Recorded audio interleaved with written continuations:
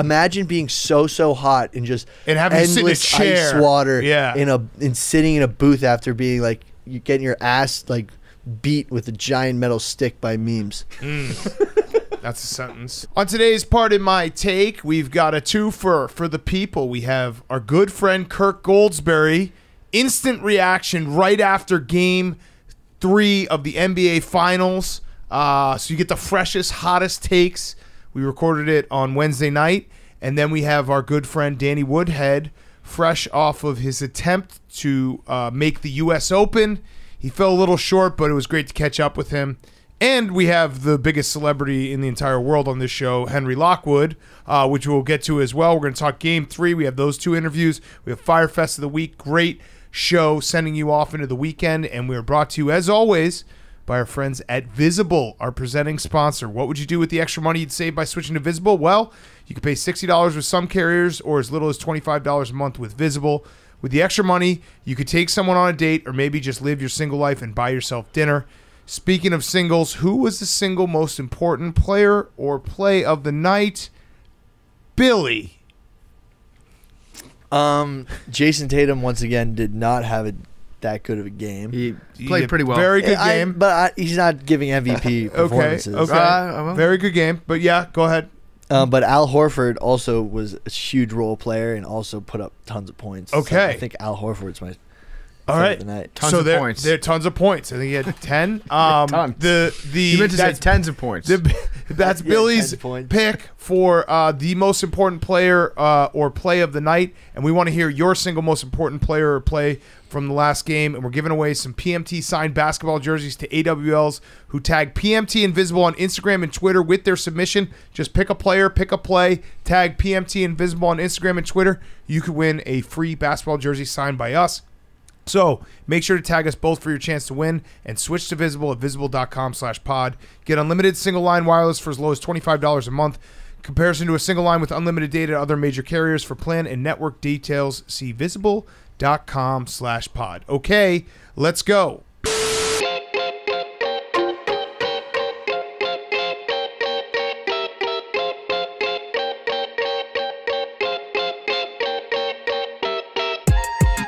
Welcome to Pardon My Take, presented by Visible. Go to visible.com slash pod. Get unlimited line wireless for as low as $25 a month. Today is Friday, June 10th.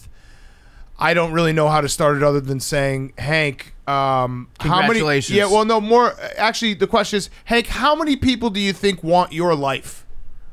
I don't know. I mean, it's, it was a it was a great night. Probably a lot. Yeah. So uh, to recap, the Celtics win Game Three convincingly. It was actually a very very fun game to watch because you had uh, the Warriors almost you know come back, the seven point possession, all these things happen, and the the Celtics, who were the better team, win the game. Hank is sitting on the wood.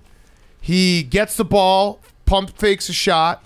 He does his fist pumps where he actually is is now done a very good job of keeping his right hand cocked and loaded, but not releasing it. Uh, he had he had one towards the end after the block. Yeah. where, where he he let them both fly. It was it was kind of yeah. He was holding one, and then it was kind of moving a little bit. Um, he was sitting with uh, Guy Fieri. He went to the club with Guy Fieri.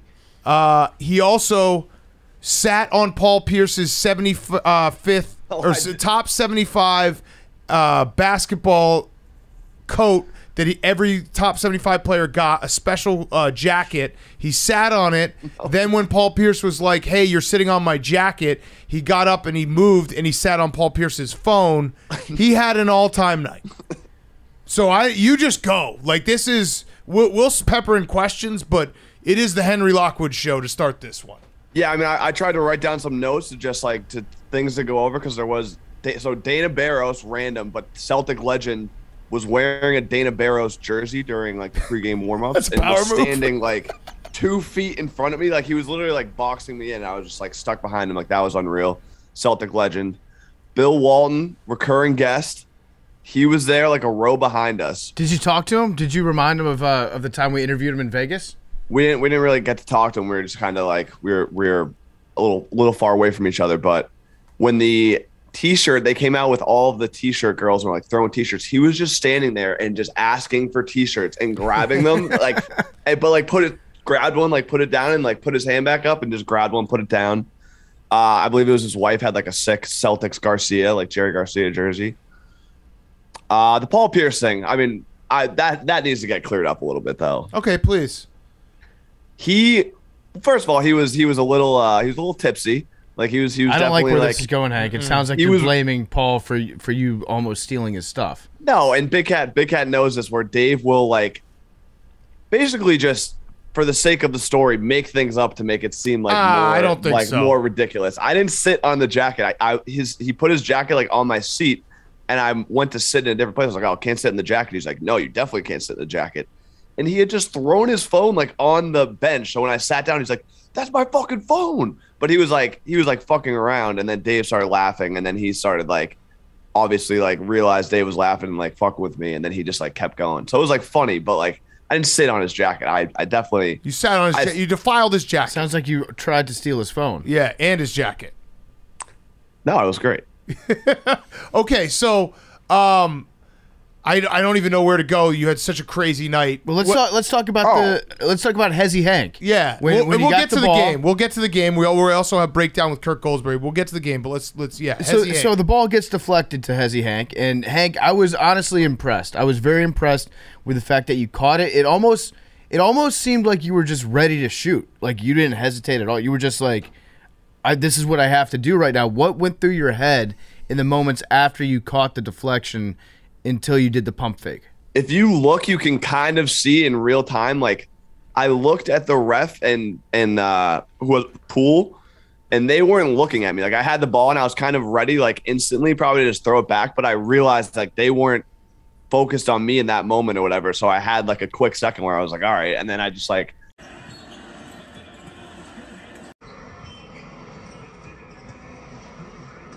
it was very natural, so quick. And then I didn't know, like afterwards, I, I was asking Dave, he's like, Do you think that was on TV? I was like, I fucking hope so. Like that was hilarious. And then obviously, like he texted me, but it was just I don't even know. Like it just all happened I- very quickly. I jumped out of off my couch because I was like, I it's I was thinking about it this morning. It's so funny because we're blessed with having dream jobs and we get to talk to athletes and we get to be at all these events. But just the simple fact of our boy Hank being on TV and like I was just like anytime the action was down on his end, I was just staring at that left corner of my television, being like, "That's him! I know him! I fucking know him! He just got the ball!" I was just super impressed that you had the presence of mind. Like most people, they they catch a ball in the stands and they like start laughing and they smile and they look around. They're like, "Oh, I can't believe this happened." They toss the ball back. It was like instantaneous for you. You were you were like you had a plan almost. That's what it looked like. Now, my question to you is, do you think that if you had shot it, would you have made it? I don't know. I was kind of behind the backboard, but I I mean I had a clean look. I I said so. look. We when we we had Kirk on last night. It was coming up. I said zero percent chance. Oh, like, Zero little- percent chance. I was like it, the the art we were behind the backboard, so like realistically, but like if I was a little a couple feet to the right, I also got him with the pump fake. Yeah, you did. Yeah, you You can did. see his head like go for it. Yeah, I just said I. The way I describe it is put him on that skates. You, I've played basketball with you many times, and you're not. You're you're you're a guy who needs to warm up. That's what I said. You need you need to warm up. Like your first few Yeah, oh, shots oh, yeah. missed the rim, and then you could hit like eight or nine in a row. So that one would have missed everything. I think I think low key Hank would have made it. High key, he would have hit an innocent bystander underneath the basket. Well, yeah, we also were like we didn't know if we were gonna get kicked out or not. That's what we were trying to decide after. yeah, no, I don't think you would have. That's I, I didn't say that in the beginning, but Guy Fieri, like being with him in the beginning because him and Dave d- are close, and we didn't know we like we went to meet up with him at his restaurant beforehand, and we just like hung out with him and his sons, and then we didn't know when we got to the garden. They're like, "Oh, you're sitting next to Guy." It was like, "Oh, this is hilarious," but. Yeah. and then the Celtics just class organization, like class all around. It's just very like they obviously it's like a great it's it's just a surreal experience, like obviously from the butter knife days, and all of a sudden we're like in the in the Legends Club, like all these people sitting courtside, like it's just very it's it's very surreal. From the pit to the palace. Yeah. Yeah. So you went to you went out to the club with Guy the next uh, that night, right? Like right Yes. after. And how was Yep. that? It was great. I mean, he's got he's got like his own line of tequila, so he was like giving us tequila before. He gave us like three bottles of tequila. I didn't I didn't take any because we ended up at the club, but he had, you know, it was just everyone like he gets when we were courtside, we were leaving, like walking on off the court, and like everyone, every single person, like Kenny Smith, Nia Long, like every celebrity that's there, like sees Guy and it's like, oh my god, Guy, like Guy, Guy, Guy, like. Obviously, being with Dave, it's kind of like that. Like, there's that to an extent, and like you guys know how it is. But Guy Fieri, it's just like on another level. Like every single person, like I was, he was right behind me, and Kenny Smith was walking up to me like he knew. He was like, "Hey," and I was like, I like for a second was like, "What?" And then I turned around, I was like, "Oh, he's, he's going for Guy." you're, uh, you're like, man, this heater is incredible. Kenny Smith. well, no, I was just like, "Yeah," but it was fan, so he was Hank. so like he was so like you're my best friend. Then I was like, "This isn't for me." I was like, but I turned around and it was just like, "Oh, it's, it's for Guy." Okay, Yeah. so so a segue to talking about the game is one last question about this night. Do you think one, will there be a game six? And two, do you think you'd get the invite?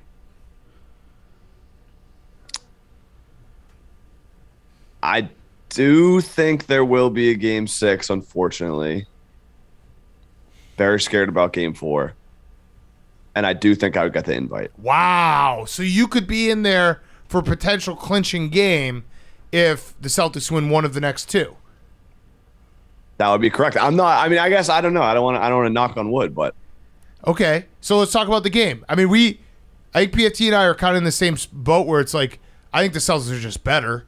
I, you know, at this point, the Warriors, um, I, I don't know what they can do other than like everyone's got to make their shots because the Celtics, they just the Celtics just tried so much harder. And it might not be like that's not saying they're not talented because they ob- obviously are, but they went for every 50 50 ball. They out rebounded. They were like flying around, cutting harder, everything. Like it just, it felt like the Celtics were like, we have to win this game, and the Warriors didn't have that same sense of urgency.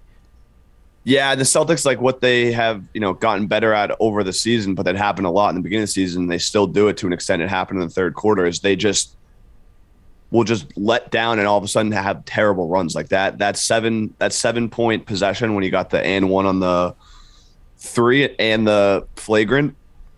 Like that's the only thing, but they obviously came back in the fourth quarter, kind of like game one, where they just came out in the fourth quarter and just asserted dominance. They did in the first quarter too, but they just let that third quarter when they let them down, like it was, it just gets so scary all over again when they all of a sudden are up 15 and then down two. Yeah, Yeah. I, I do feel like the Warriors, like yes, they obviously have to make their shots if they want to win, but the Warriors are a team that can beat a team that's like, you know, better all around than them, and they can beat them easily too, as long as you just have you know Steph, Klay. If those two guys make all their shots, if they get to a night where they're both on, then they're pretty much impossible to beat. It, it doesn't matter how good the Celtics can play, but. They sneaky were though. But but they were No, they- yeah, when they Steph when for Steph's not playing, time. when Yeah. Steph's not in the court, it's like very you can tell like their offense just doesn't like have Yeah, the- any rhythm. I don't think that Klay was like on on though last night. Oh, he, he, was, was on. He was pretty He close Was on. because remember he didn't score in the first. Qu- I don't think he scored in the first quarter or the fourth quarter. So he had 25 points in two right, quarters. that, that's what I'm saying. Like they they didn't have a combination He was game going off though. of them Yeah. of them both being just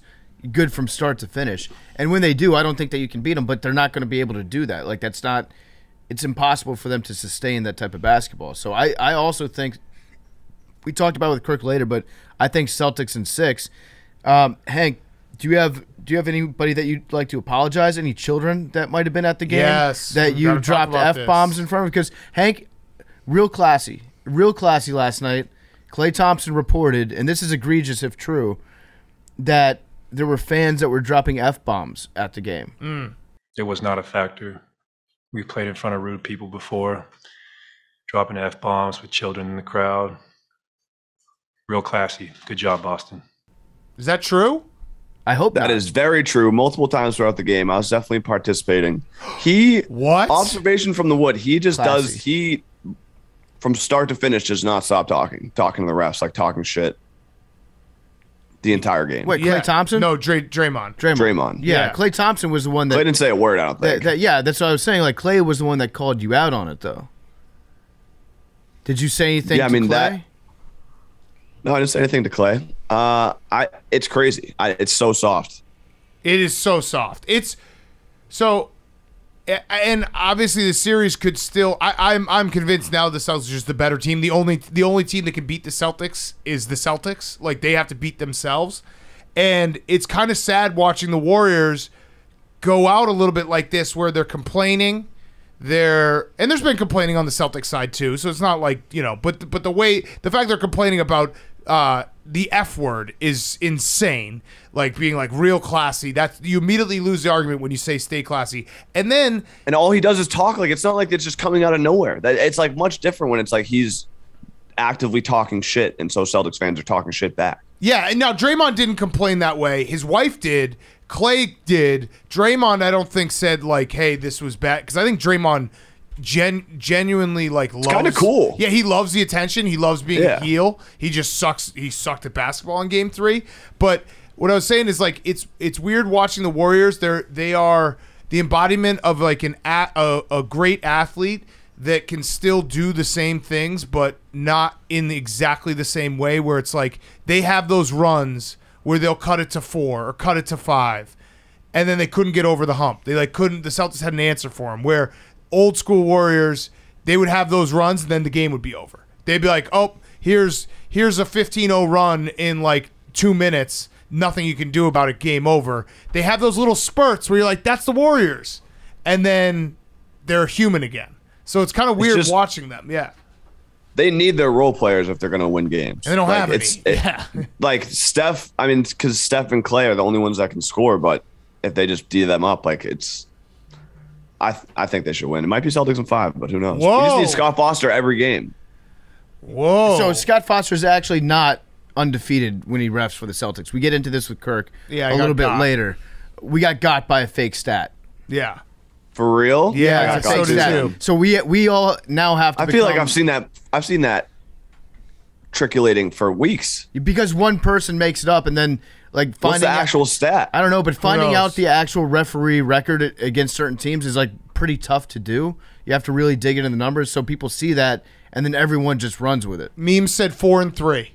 it's a real stat. So now we got to get into the fake ref stat game. Which is so funny. Four and three. That's you guys are talking about twelve and zero, right? Yeah, 12 and 0, yeah. Yeah. No, I brought it up uh, with Kirk, and That's he was like, You got got. And I was like, Fuck. I, there, Scott Foster's just in that level where it's like you can just, anything you say about him, you're like, Yep, that makes sense. But yeah, you need Scott Foster. All right, real quick, uh, before we finish up talking about game three and then talk about game four, better help. Life can be overwhelming and many people are burned out without even knowing it. Symptoms can include lack of motivation, irritability, fatigue, and more. So if you are feeling like, you know, you're working too much, not taking enough time for yourself, you need to be aware of burnout. We associate burnout with work, but that's not the only cause. Any of our roles in life can lead us to feel burned out. So, BetterHelp Online Therapy wants to remind you to prioritize yourself. Talking with someone can help you figure out what's causing the stress in your life. And the best part about BetterHelp is if you're wary of therapy, if you don't really want to make the commitment, BetterHelp is customized online therapy that offers video, phone, and even live chat sessions with your therapist so you don't have to see anyone on camera if you don't want to. If you if you take care of everything else in your life, you go to the gym, if you you know get your oil fixed, if you do all these things maintenance wise, you better be doing it for your health as well, your mental health, because you need to make sure that you're feeling good. And BetterHelp will help you get there. It's much more affordable than in-person therapy, and you can be matched with a therapist in under 48 hours. Our listeners get 10% off their first month at betterhelp.com slash PMT. That's E B-E-T-T-E-R-H-E-L-P dot com slash PMT.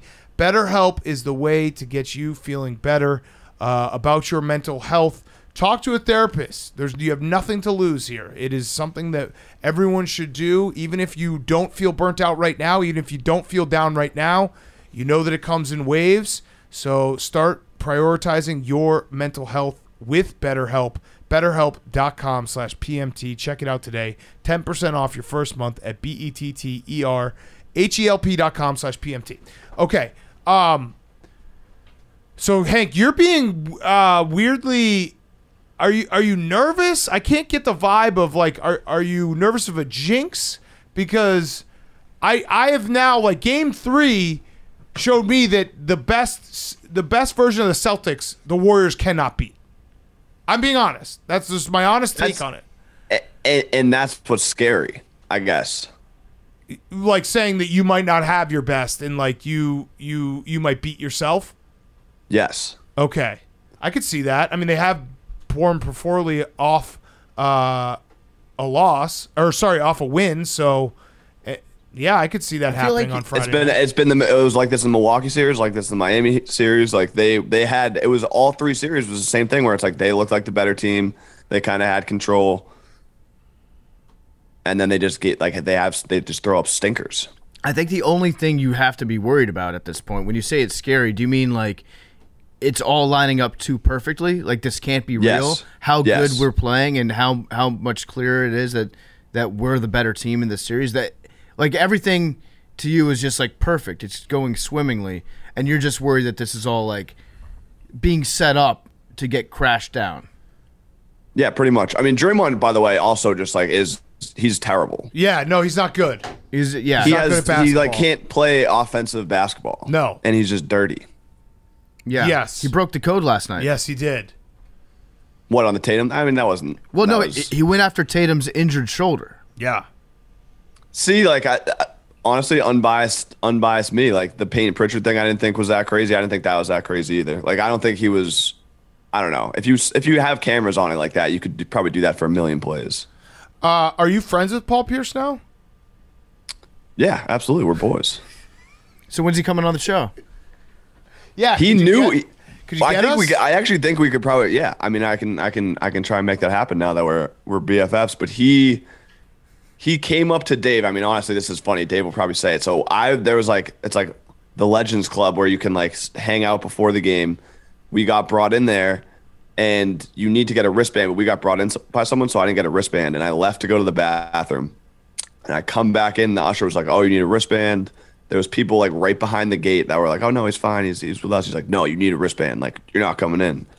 And so I texted Dave, and some kid comes up to me. He's like, "Dave's talking to Paul right now. Like he, I don't know if he's gonna come out." And I didn't know what that meant. And then he came and got me, and then like we walked back in. It was him and Pierce.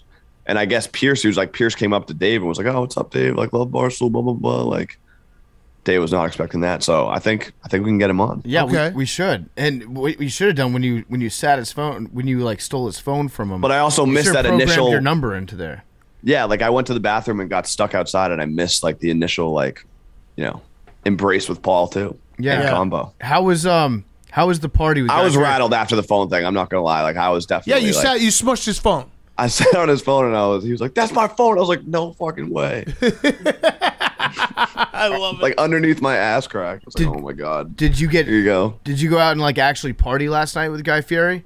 Yeah, we were at the club till till it closed, and then we were at a casino, played some blackjack. Hell yeah. That's awesome. Hell yes. Guy Fieri is he as cool as I hope he is?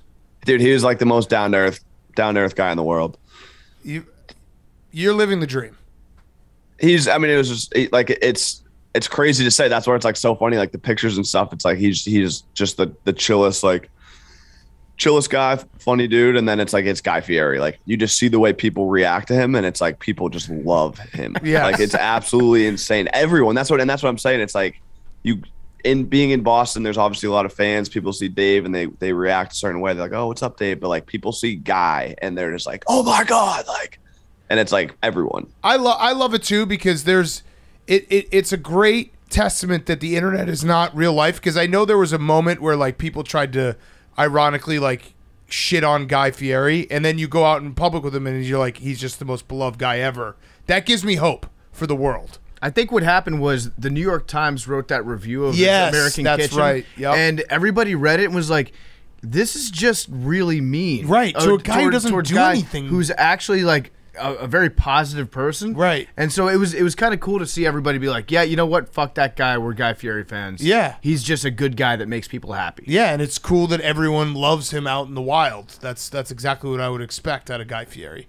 Um, okay, so uh, game four Friday night. I don't. I guess I could see the Santa Wa- Fino tequila. That was just There tequila. it it, is. was great. I guess I could see the Warriors winning. I just don't. I think, I think that they're gonna lose, and then I think they're gonna Win win, game five. Game five, yeah. And then Hank will be on the wood for on the wood. I want I want confetti Hank. Wow, Has what he a, Hank? I don't know. what a moment that would be. I, I again, I don't want to get ahead of myself. I'm very appreciative. If I never went to another game, like I'd be, I'd be fine with it. But in if you're in Dave's shoes and you don't invite me, like then you're then you're a jinx. He could Yeah, be a jinx. True, Yeah. true. How does it feel to Two and be oh. to be the most important part of this podcast?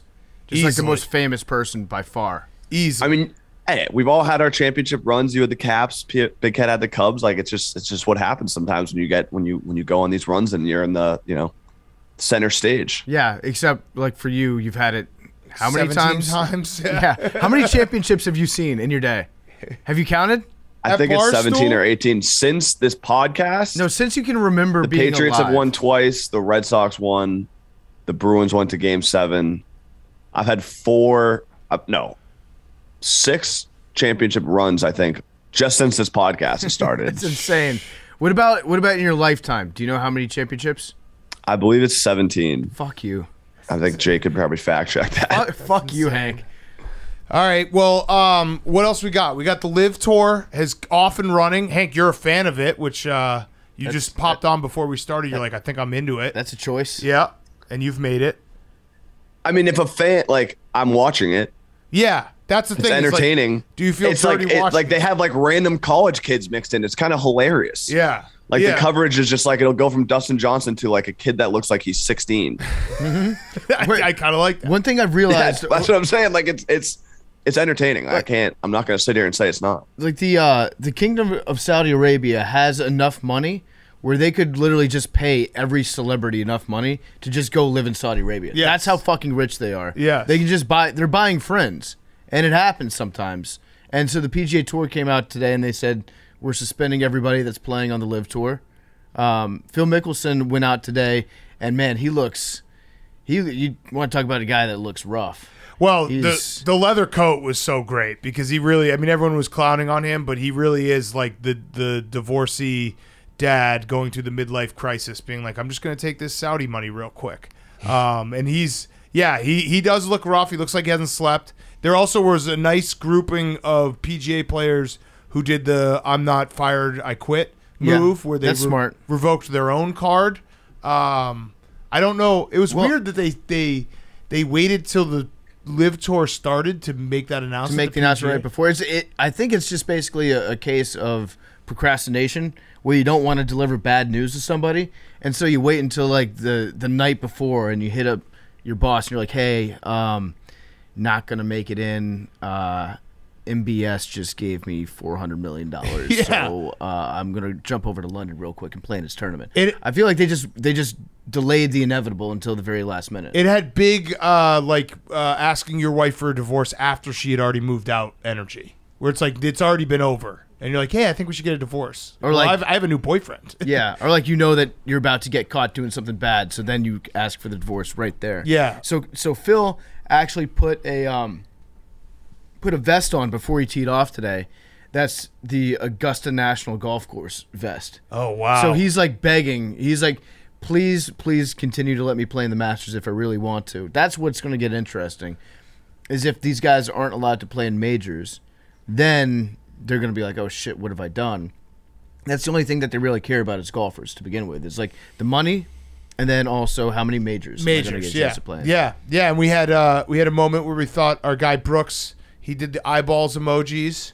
Um, it actually was a good test run for us, just in case any of our friends do uh, join the LIV Tour, because the Pardon My Take group chat, Brooks was fucking with everyone. He's not joining the LIV Tour.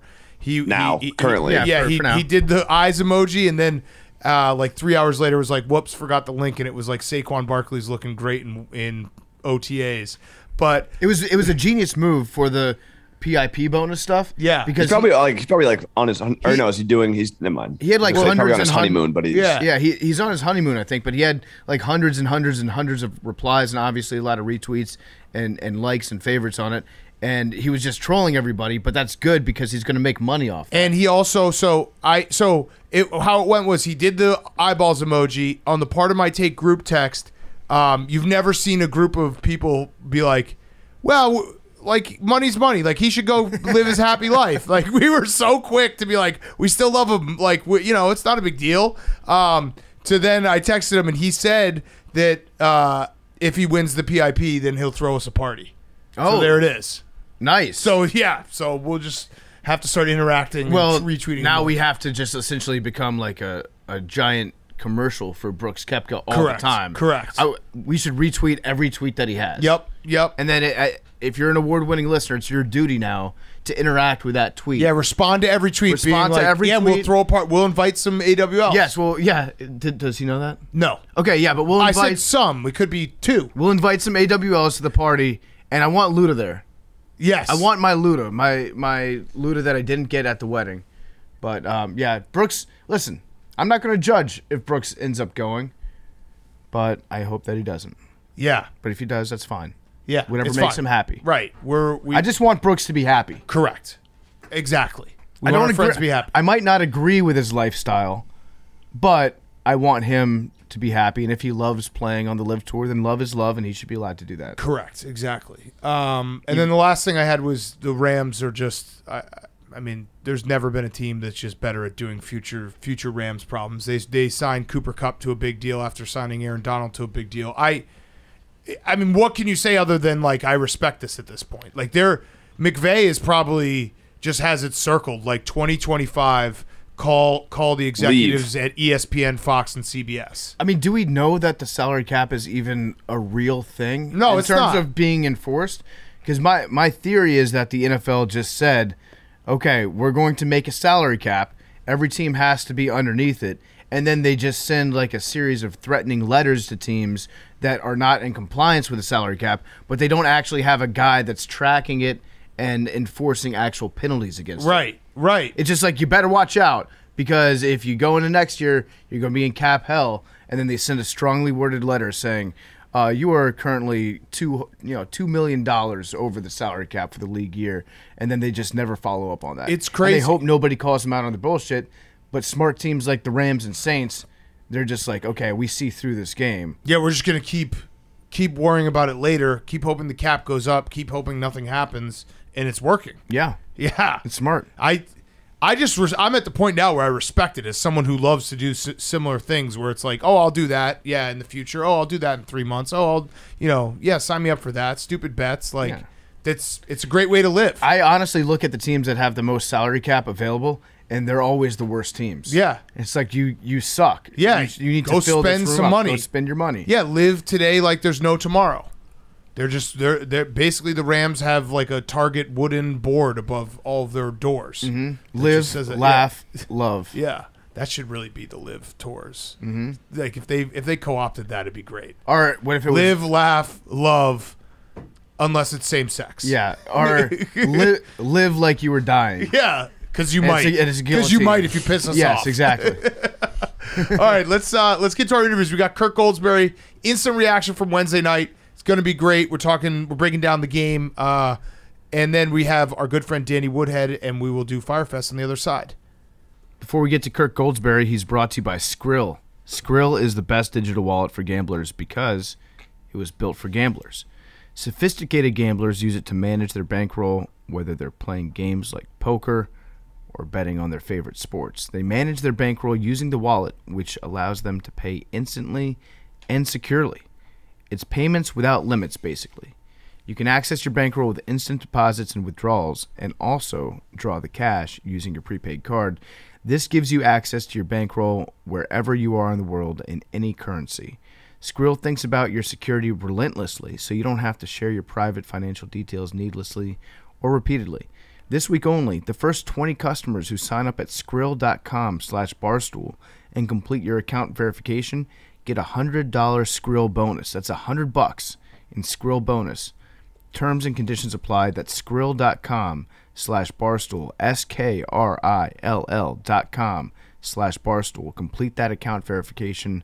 Get a $100 Skrill bonus if you're one of the first 20 customers to do it. And now, here's Kirk Goldsberry. Okay, we are welcoming on our very good friend. It is right after the game. So it's a time capsule. We're going to run this on Friday show, but it's a time capsule. We're getting instant reaction from one of the smartest basketball minds in the world. It is our good friend Kirk Goldsberry.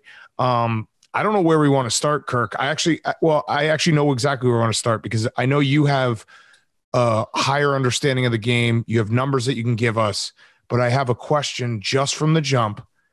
Is it fair to say, throw out like the shot making and you know the fact that the Celtics are probably more talented? the Celtics just straight up out hustled the Warriors tonight. And like rebounding to me, the Celtics are bigger, but still rebounding is a lot of hustle. And it was like right from the jump, they basically were like, no, we're just going to get every 50 50 ball. Yeah, it's fair to say they trucked them, man. That's the word that I kept thinking. They are a bigger team, they are a stronger team. And for the first time in the series, I think they really asserted that. Big Cat. When they won in game one, it was like crazy three point shooting. They looked like a lost team in game two. And then in game three, they looked like the best team in the NBA in large part because everybody in the rotation played hard, played smart. Uh, and like you said, the rebounding numbers were good and the points in the paint numbers were good. I think Boston only had 24 points in the paint in game two. They more than doubled that tonight, uh, which isn't just a stat, it's proof that Jayson Tatum and Jaylen Brown were playing aggressive, asserting their physical advantages and making plays in the teeth of the Warriors defense. So for me, yeah, it's fair to say they out hustled them. The word I kept thinking, they trucked those dudes. They were bigger, stronger, and better. Yeah. I like that. Would you say like are the Celtics are they intimidating? Are the Warriors a little bit intimidated? when they play like that, PFT, they are. They look like the biggest, baddest group of dudes in the league. Um, but it, it, was a, it, what's weird about the series in game two, they didn't look like that at all. It looked like Draymond could get in their heads. Looks like they couldn't dribble down the court without dribbling off their foot. Uh, and they were afraid to make plays or couldn't get plays made in the paint. Uh, and so when they play like they did in that raucous arena, with guys like Hank, three drinks in, four drinks in, Guy Fieri sitting there. It's intimidating, man. It's intimidating for a team like the Golden State Warriors to go in there and play against a team like that. Yeah, this is a big dub for everybody that said like five years ago that the Golden State Warriors were, were soft, that they were a soft team.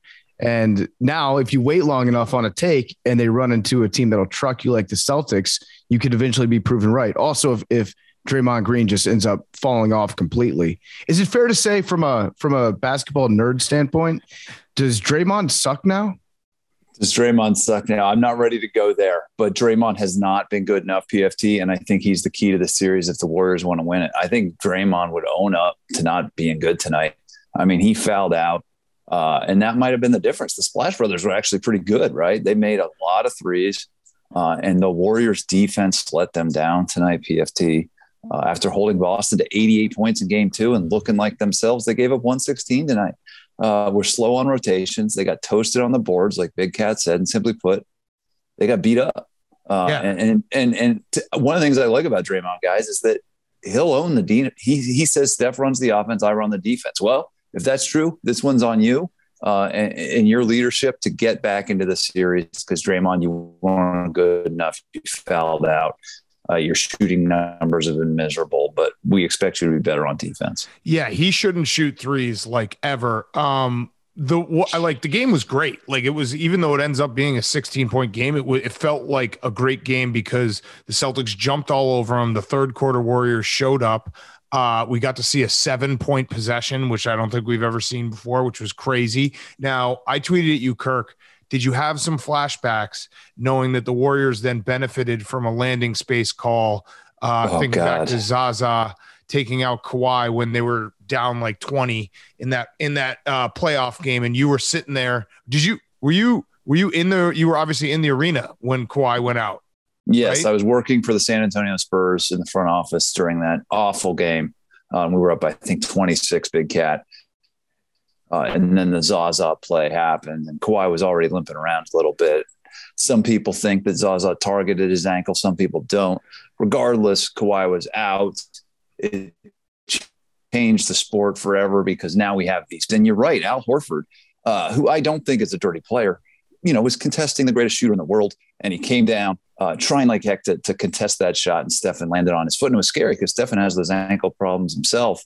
And uh, man, those are dangerous plays. I did have flashbacks. In fact, my wife texted me. She was like, "Did you hear the announcers?" I still mad. She's still more mad about it than I am. But it's it's a it's a dirty it's a dirty dirty situation. I don't want. I, I yeah, that gave me flashbacks. Short answer: yes. Hell now, yes. Now we, we in in fairness, um, talking about Draymond, he also broke the code. I don't know if you saw. He he tried to tug on Jayson Tatum's arm after a free throw. He also kind of uh, fell on Jaylen Brown. It's like he's he's right on that edge where he's constantly like, you, you know, like the I feel like NBA fans 50 and up are like, man, this is good, just hard basketball. And then everyone's like, dude, are you just intentionally trying to rip his shoulder out of his socket? Like, what the fuck? Yeah, he's he he messes with that Rodman line. Like if you're rooting for him, like if you're a Bulls fan in the '90s against Karl Malone, oh my god, this guy's incredible. What a what a ferocious defensive presence he is, and and then if you're rooting for the Jazz, like this guy's a, a maniacal jerk. You know, I, I hate this guy, uh, and that's Draymond, and that's what he brings to this Warriors team. And without him, Big Cat, to PFT's earlier point, without him, their defense isn't going to be good enough to beat this Celtics team. I, I, have one sort of dumb guy stat that I'll throw out you. The, the Celtics are now 11 and 0 when they score 108 points in these playoffs, and they're three and seven when they don't. Um, so if you're Draymond Green in this defense, you need to you need to hold the Celtics below that magic number um, because the Celtics defense doesn't take a night off. You know, yeah, and and on top of that, it's the turnover stat that everyone's seen at this point, where the Celtics with 16 or more turnovers are basically, uh, I think they're 0 and 5 or something like that, or maybe 1 and 5 in the playoffs. And then yeah. when they have 15 or less turnovers, they're essentially unbeatable.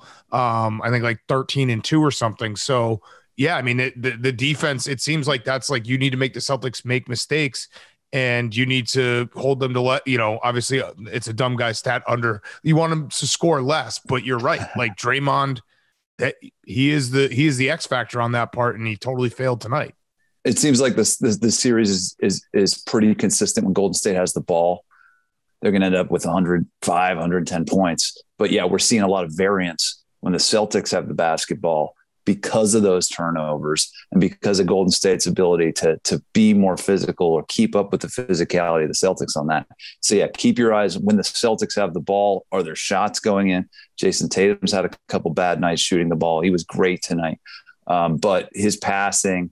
Their ability to get into the paint in game three was the big difference. So if that's a trend going forward, the, the Warriors are in trouble. Draymond can now flip the switch and be like channel that crazy Draymond energy like he did in game two and hold that Celtics defense down, we're going to have a long seven game series. I still think that's where this is going. Uh, but he, game four is going to be huge. Uh, if Draymond and that defense can can hold the Celtics down to 108 or less, they have a good chance. Right. So you mentioned you mentioned Tatum's off night uh, when they when they had the loss. What you do in an off night doesn't matter if you lose, according to the people that vote on the MVP award for the finals. And this is something that we're tracking here uh, very closely. And part of my take, because Billy has to go vegan for an entire month, including the Fourth of July, which is like his. That's Billy time, and um, we need to we need to get an update on uh, who, in your estimation, is tracking to be the MVP of this series. Is it going to be Tatum? or is it going to be Brown? Let me give you the stats too, real quick, Kirk. So Jaylen yeah. Brown, 68 points, 22 rebounds, 13 assists. Jayson Tatum, 66 points, 17 rebounds, 25 assists. So pretty like statistically, they're they're pretty much the same right now. Yeah, I think it's time to fire up the impossible burgers because I'm going Jayson Tatum, folks. And uh, I think Billy's I, I would recommend the impossible burgers. They're better than than you think they are. They're not bad. Uh, they're not bad. Um, I, I don't think he'll enjoy them quite as much as an all beef patty, but I think Jayson Tatum is going to win the MVP because the Celtics are are only going to win the series if Jayson Tatum has a few more good games. Uh, and his passing in particular, guys, has been great. Uh, in that game one, he had a terrible night shooting, uh, but his passes created 35 points for the Celtics he can score it, pass it, rebound it, steal it. He's he's just slightly more complete and slightly more important to the Celtics' success, in my opinion. Um, so I think he's a safer bet. Now I'm I'm not going to be shocked, PFT, if Jaylen Brown wins the the MVP if the Celtics win the series. But my money uh, and my impossible burgers would be on Jayson Tatum at this point. It, it like does feel like to make the Jaylen Brown argument, it feels like he gets them going a lot faster. Yeah. Like he tonight, I think game one tonight. was similar. Mark Jackson astutely said uh, uh, Jaylen Brown was the best player in the first quarter after he dropped 17, 5, and 3. Um, and he, he, does, though, like it feels like he gets them in a spot where then Jayson Tatum can take over later on in the game, which I guess. I mean, winning time is probably going to win the MVP, but it, it, it like that that first quarter when the Celtics jumped on him and had that energy, that was a lot because of Jaylen Brown and him driving and hitting open shots. Yeah, he scored 17. He assisted on seven more in that first quarter, I think. So that's 24 by my count. And and the Dubs only had 22 points. So Jaylen, you're exactly right. He's, he's been that, I think, twice by my count in these first three games. But Gat, he has been the spark. Uh, he has been the leader right when the game starts, setting the tone. Um, so he, you know, like I said, if Jaylen Brown wins the Finals MVP, good for Jaylen Brown. He could. There's definitely a path where, path where he deserves it, uh, and he was great in Game Three, especially at the beginning when the Celtics sort of needed that big start at home. Um, and, and, he gave it to them in a way that Jayson didn't. But Jayson caught up by the end of the game, had a great game. So. And but if, if Tatum has these moments like he's had in the last couple games where at the very start of the game he like grabs his shoulder and winces in pain and acts like he needs to get it amputated, that whole thing. If he keeps doing that and the stats are even, I feel like that's tilting it a little bit towards Jayson Tatum because he's a warrior. Yeah. Well, remember when Paul Pierce won the Finals MVP? You know, he's been known to go out in a wheelchair and come back in. So, you know, Jayson's just carrying on a proud Celtics tradition. Tatum needs to shit his pants, is, is yeah. what you're saying. it is. It is very Roethlisberger esque that Jayson Tatum, like, it's. I don't think he's. I think he's obviously got an injury. I'm not yeah. saying he doesn't have an injury, but he does do a good job. To PFT's point of reminding everyone about his injury very early on, where you're like, there's been multiple times this playoffs where I'm like, oh, is, is Jayson Tatum really hurt? And it's like, no. And then he drops 27. Wait, does does his does his medical tape on his shoulder PFT have an accent and talk like the walking boot does for Big Ben? Does, do we have French. that bit? Yes. Uh, je ne sais, je ne sais pas. Qu'est-ce qu'est-ce que c'est avec avec mon Oh, Qu'est-ce que c'est avec mon shoulder? Draymond, don't touch my shoulder. That's exactly right. We just burned a new uh, walking boot. All right. So wait, Kirk, you just said uh, this game, this series is going seven. So if that were to be the case, I would assume the Warriors would. It would be very hard for them to obviously come back from a three-one lead. We've seen it happen. Th- has it um, ever happened? Have, have yeah, we ever seen? yeah, but if the Warriors are going to win, you know, like to, to make this a long series, I think they probably have to win Friday night. So yeah. what are the adjustments? Like what are what do they have to change to to win this game? And and it might even just be the Celtics have been so Jekyll and Hyde all playoffs. Just let the Celtics implode because yeah, it does right. feel like they have a game like this and then they play a bad game and then they play a great game and then they just hope that they end up winning in game seven, which they've done twice so, so far.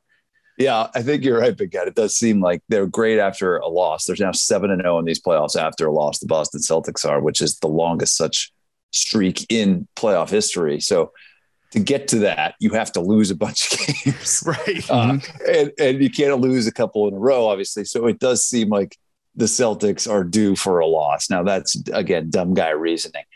It's all about the defense. Draymond, Kevon Looney, the bigs have to do a better job on the glass. They have to out sort of match their own size. They have to over index on the boards and rim protection in a way they did not do in game three, but in a way they did do uh, in game two. They have to be physical without fouling out. Now, Draymond has fouled out twice in the series.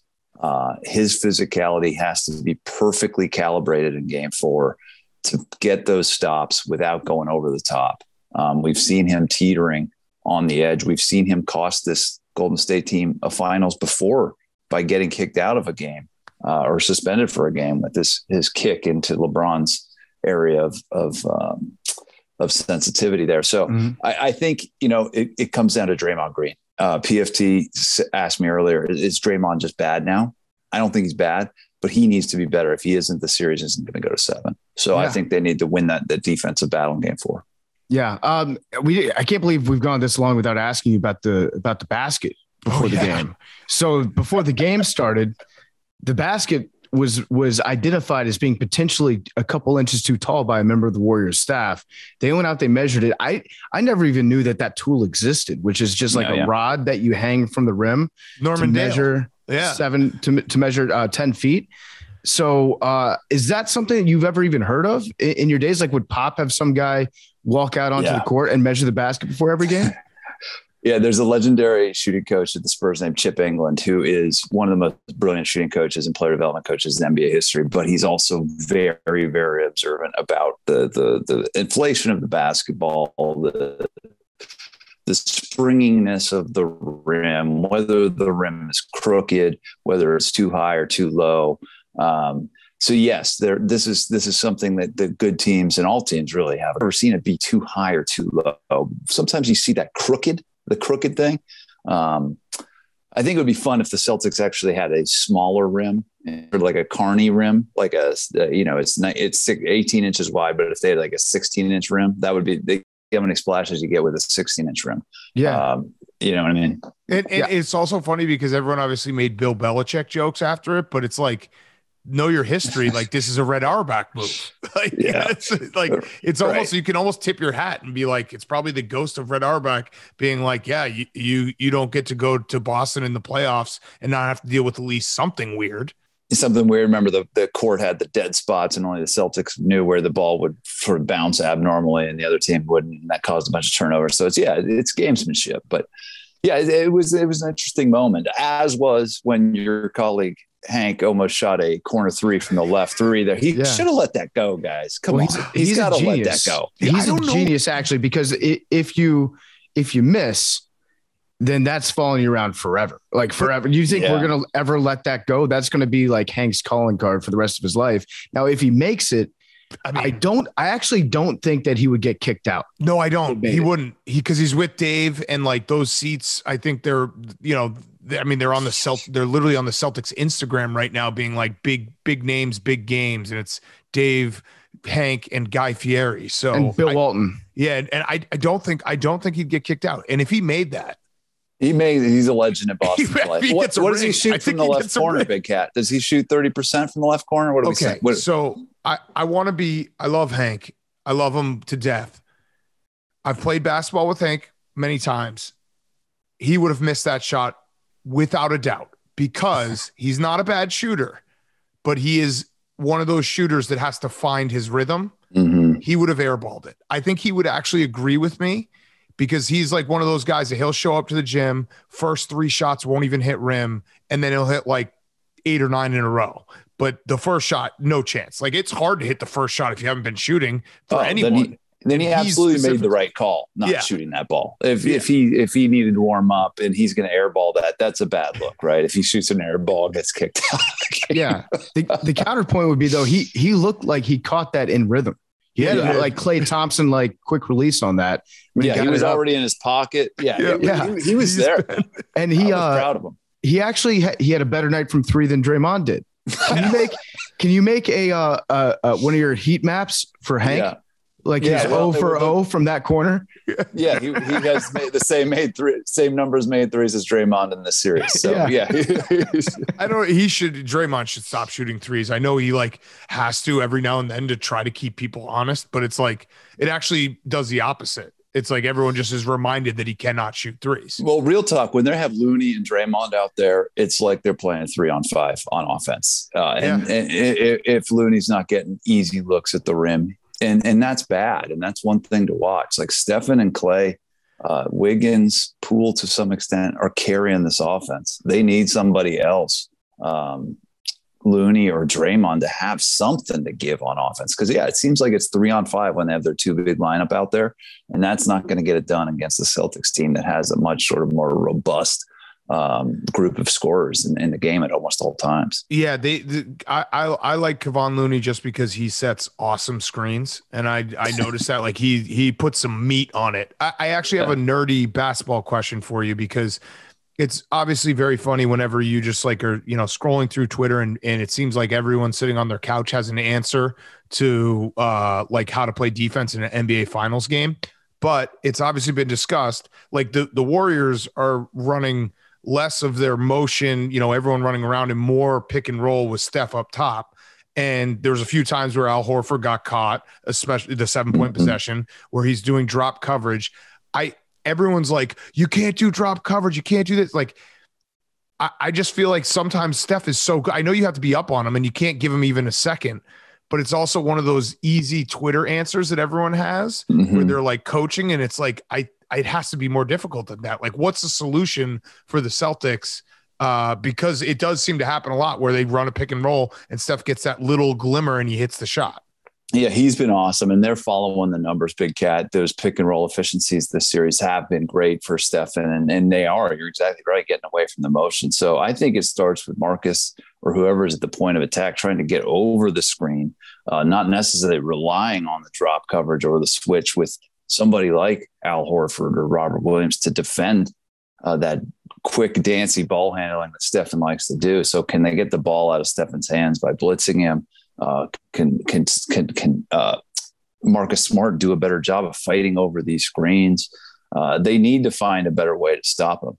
Stephen did what he needed to do offensively tonight. Again, I, I keep hitting this point. Stephen is not the problem. He is beating the Celtics in the exact same. I, this might be his best finals performance we've seen. Yeah. Period. Yeah. And, and his team isn't there. This isn't a deep enough team. The, the problem isn't there. It's on the other guys uh, and on the defensive end tonight again. So Stefan is is carrying it. Klay was even great in Game Three. Uh, it was nice to see that, but I think it just speaks that there's no Shaun Livingston here. Andre Iguodala is not what he used to be. Draymond isn't doing much. Um, Jordan Poole hasn't really flexed aside from that that, that crazy late late game and, and, and the, the, shots in game two uh, when the game was kind of locked up. But yeah, they need more on offense aside from stuff. Well, you're gonna get us you're gonna get us roasted online because of what you just said. You just you forgot. I mean, Kevin Durant would be nice to have right now too. Yes, I think Kevin Durant would be nice to have right now. And and you know what? I'll leave that to Stephen A. and some of my colleagues at ESPN. I'm sure they'll hit this one up, uh, but uh, for me. But you know, this is a team that that that won without Kevin, and then obviously won two with Kevin. But Kevin won those Finals MVPs for good reason when they play a great defense. But you know who shut down Kevin in these playoffs? This Celtics defense. True. Um, and point. and Stefan you know, if you want to get into the talking heads game, Stefan is doing better against this exact same defense than Kevin did in the first round. So I think that's interesting. But yeah, obviously, if the Warriors had both of those dudes, this would be a different vibe in the series. Okay, so so it just occurred to me what is probably going to happen. What I hope happens now, especially for the talking head situation. I'm hoping that we get a Celtics series win, and Steph Curry gets his first Finals MVP out of that. that would be that would be the ultimate, that would be it? So great. Threading the take needle. That that's, would be uh, that's what we uh, need to happen. Nick Wright wouldn't know what to say. it would be that would be incredible, incredible. That would be the perfect be, ending. It would be the probably yeah the the perfect ending of this series. I don't know what the talking heads would make of that, guys. I think yeah. that I think that like first take would just implode on itself. I I don't know if if like the power of Skip's own brain would probably give him a stroke. And he probably just, wouldn't make it. In isn't that a lot of red meat though, PFT? Like that's a lot of red meat. You can't give the Finals MVP to a losing player. Isn't that what you do? Isn't that the well, take? Well, I think that I think the conversation has become so much bigger than just that. It, it's now a reflection on Steph's entire legacy. That the only Finals MVP he got was when they lost then you can go. It's one of those things that will become a Rorschach test where you can take that little nugget right there and stretch it to to back up whatever argument you had previously made. It's going to be amazing. That's that's now what we have to root for. And we, by yeah. the way, I, I still do. I, I love that you call him Stefan. Yeah, it's the best. There's a level of of uh, comfort with him. Like you know the guy. I don't. I've been I've been like slandering his name by calling him Steph this whole time. Yeah, yeah, you know, he, I go by, I call him Stefan. I think that's old fashioned. I, I, think that's what we were calling him at Davidson. I don't know why everybody chose Steph. I feel like that's a little personal. I'm, I'm not there with him yet, um, but maybe, you know, a couple more hangs, a couple more golf games, and I can get there with him. I don't know. By the way, the other, uh, there's two other players I want to talk about real quick. Marcus Smart played great. And yeah. then uh, he had like a, a very impactful game, you know, scored a lot of points. And then Andrew Wiggins because you're talking about like they need someone else. Yeah. I just looked up. I looked it up. Andrew Wiggins had 18 tonight. He's got like the quietest 18 in the world. I yeah. I, I think it's maybe just the fact that like he hasn't been able to hit those big threes when he's open, but it it feels like they're gonna need like 30 from him one night to to steal one of these games. Yeah, I agree with that. You know, he's great in transition. Uh, he gives them dunks. He has the potential to tear the internet down with a dunk. Uh, that could help the momentum. They're finding him open for three. He's got to make those. Uh, but you're right. Like he is one of the two guys, the other one being Jordan Poole, that could sneak in a 28 point game here and really lift this offense over the hump.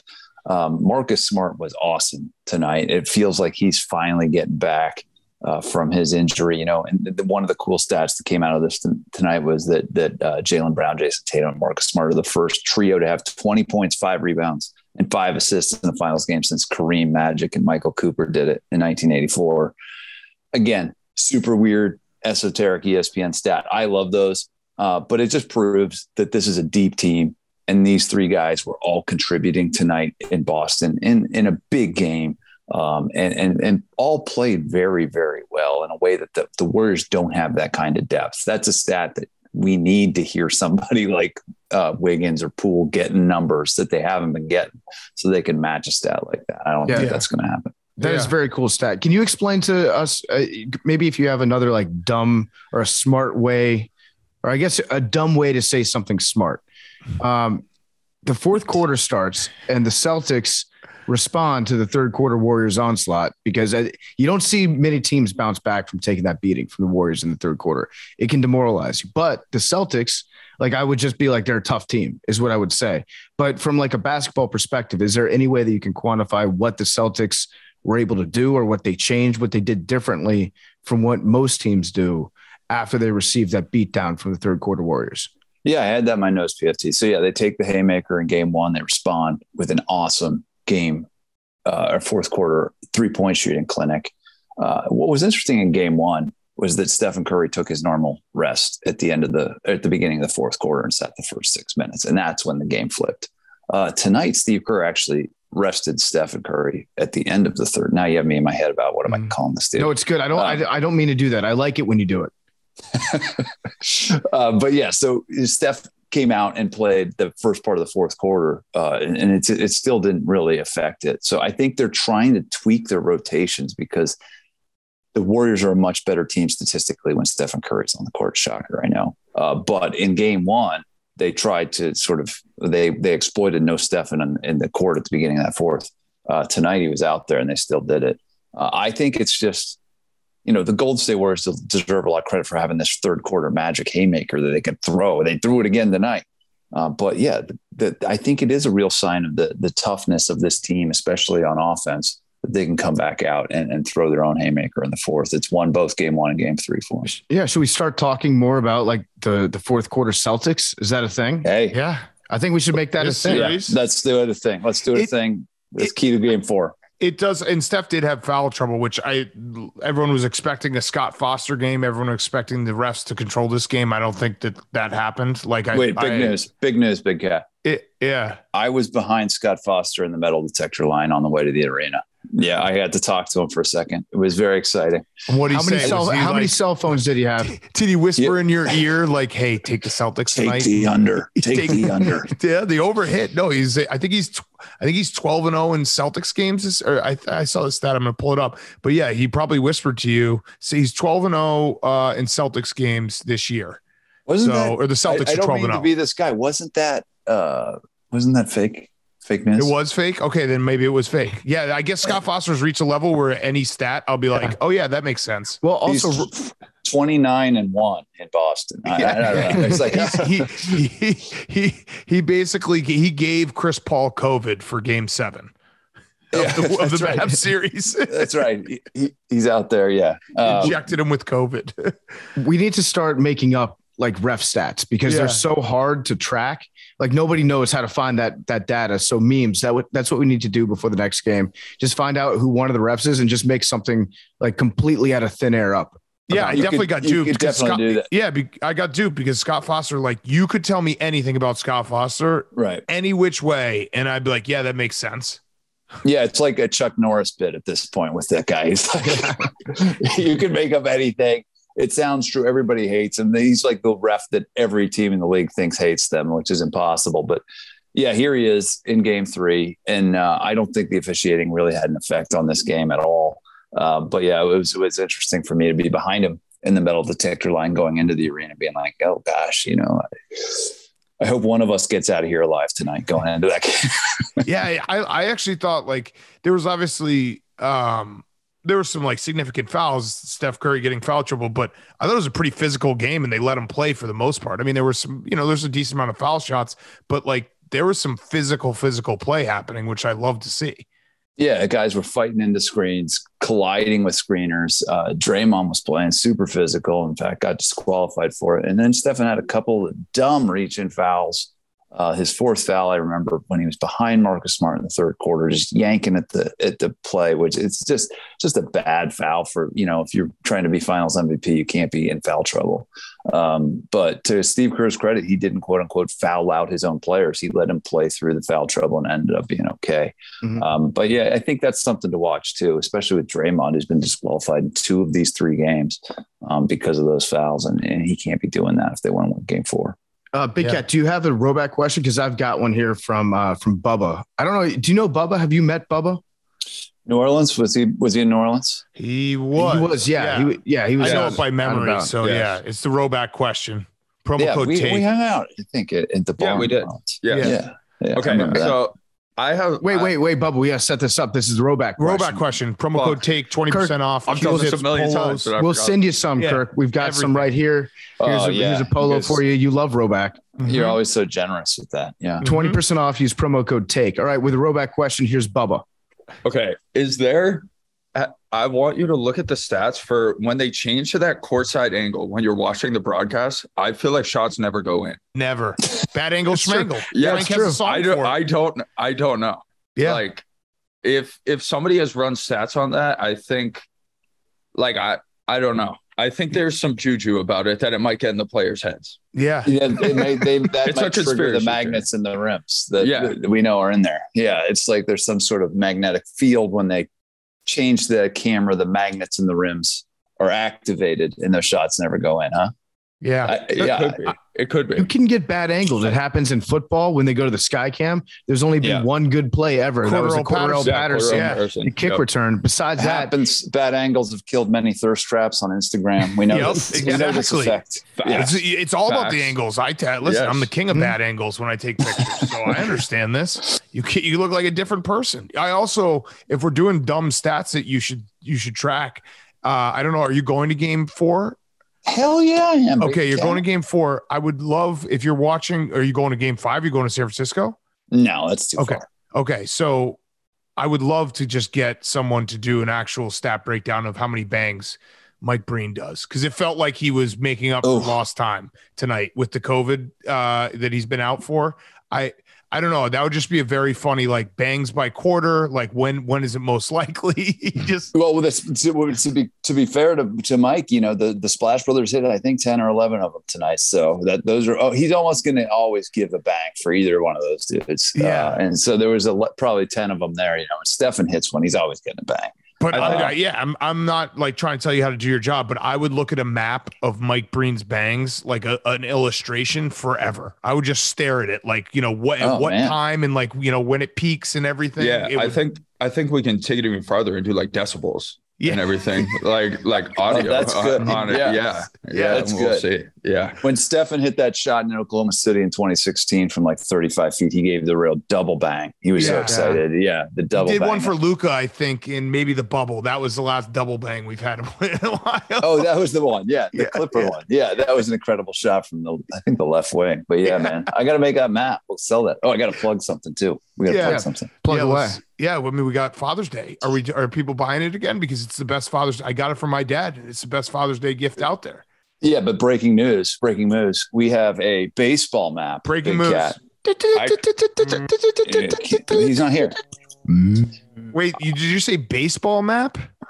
Yeah, we made the pastime national park. So if your dad Okay, so likes you were like, baseball oh, or right, so basketball, yeah, you're like, let me just get more into the dad culture. I'm gonna do yeah, You should do a Steely Dan map next.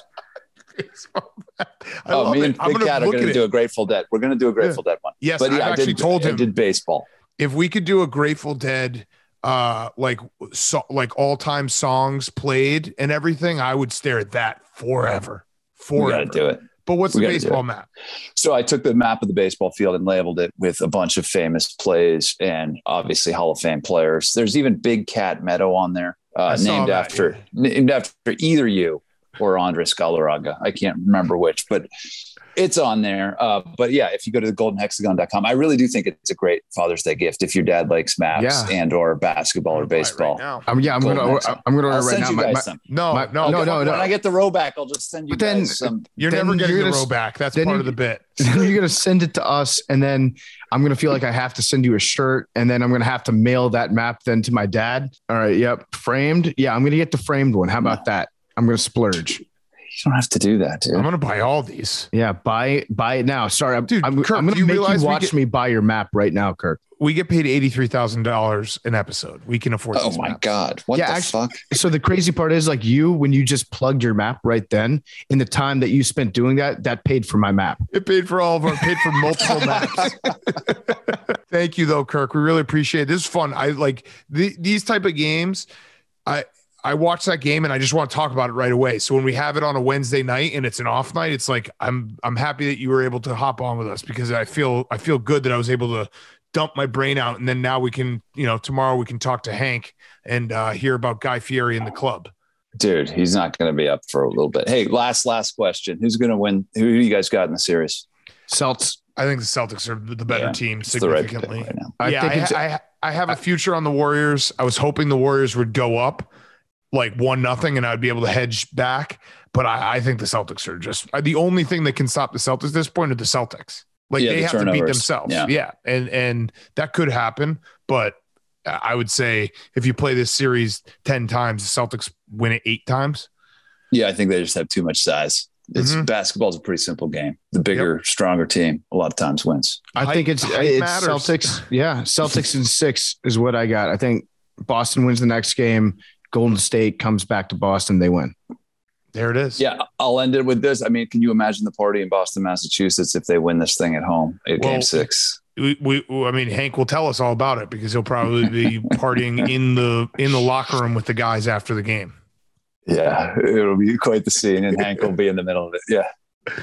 All right, Kirk, thank you so much. Hey, thank you guys. Kirk Goldsberry was brought to you by our great friends over at Shady Rays. Shady Rays sunglasses offer an industry best combination of fit, style, and performance without the big brand price tag. It doesn't stop at the quality. Shady Rays offers the most insane protection program in all of eyewear. Every pair is backed by lost and broken replacement plan. If you lose or break your pair, even on day one, they're going to send you a brand new pair. Wear with confidence wherever. I love Shady Rays. I'm going to be down the shore this summer. I'm going to be at the beach. You better believe I'm bringing a surplus of Shady Rays with me. I love my Shady Rays. Right now, I'm, I'm rocking the PMT exclusive brand. They've got the little uh, mustache, sunglasses, hat, Stella on the sides. Love Shady Rays. Get compliments on them all the time. I love seeing people that purchase the Shady Rays tweet at us, tag Shady Rays. Let us know how much you love these sunglasses. They're the they're the exclusive sunglasses partner of Pardon My Take, and exclusively for our listeners, Shady Rays is giving out their very best deal of the season. This is the one that you wait all year for. It's sunglass season. Go to shadyrays.com slash PMT50. You get 50% off two or more pairs of polarized sunglasses. That's right, 50% off. This is the best deal that they offer. shadyrays.com slash PMT50. You get 50% off when you order two or more pairs of their polarized sunglasses. And now here is my best friend in the entire world, Danny Woodhead. Okay, we now welcome on our good friend, longtime friend, recurring guest. It is Danny Woodhead. Uh, if you saw the news, most people did. Actually, I don't know how many people follow the U.S. Open qualifying. Danny made it to the last qualifying. Uh, fell a little short, but we wanted to have him on. And honestly, this is gonna sound sappy. I wanted you to come on just to be like, dude, I'm proud of you. Uh, it was incredible you got that far, especially considering the fact that you like a couple years ago were like, I'm gonna start golfing, and then you were two two rounds away from the U.S. Open. How's it going? I, I know it's a little bittersweet, but we wanted to catch up with you. Man, I appreciate it. Uh, yeah, it is a little bittersweet. Uh, played 32 pretty good holes of golf. Not great, but 32 pretty good. Four holes that just kind of were stupid, but it is what it is, man. Like, it, it- this is not the last time I'll be trying to do it. Yeah. Um, I mean, it's it- like you said, like four years ago, if if you would have told me I had a chance, I was 36 holes away from being at the U.S. Open, I would have thought you were a moron. But like, I the truth is, like, I was at that situation, and man, it's been a it's been a wild ride, like in my golf journey. But man, I love it. I love playing. I still like today. I'm definitely not going to touch a club, but I uh probably tomorrow I'll be back at it, just like because I I need to get better. I, I wasn't good enough. I could I could see how like on a on a day if I'm playing good that I could shoot the number to get in, yes. But like that's the huge difference in an am and a pro. The Mhm. pros consistently do it. And they're gonna be in it regardless. Where I would have need to have a, a really good day. Like Yeah. those guys don't need a really good day. I would have needed a really good day. And uh, it just wasn't there. But man, it's wild. Yeah. Like, yeah. wild to say the least. Yeah. That's that would probably have been, and we, we spoke on the phone before you went to this tournament. Yeah. tournament, but I, I think I told you this. That would have been your biggest athletic accomplishment of all time. And you're a guy that's played how many what you played for four NFL teams, Yeah. had like forty touchdowns. That qualifying for the US Open would have been the craziest athletic accomplishment of your life. and it, and it wouldn't have been close. Like, I mean, I would even say because there were a lot of pros at the qualifier too. My initial qualifier. I Yeah. saw Dufner. So, I thought you were playing against Dufner. Well, and, and the thing is, it's like it's just one of those things. You're like, just to even just even get to Ohio, that would it ranks up there with a lot of my ath- athletic achievements because it's also something I'm not supposed to be good at, right? Like it's something that like I'm supposed to suck. How many NFL running backs play golf? Period. I don't know, maybe 0.4 percent. Like it's just it's not really a number. Maybe one guy on in the NFL does now.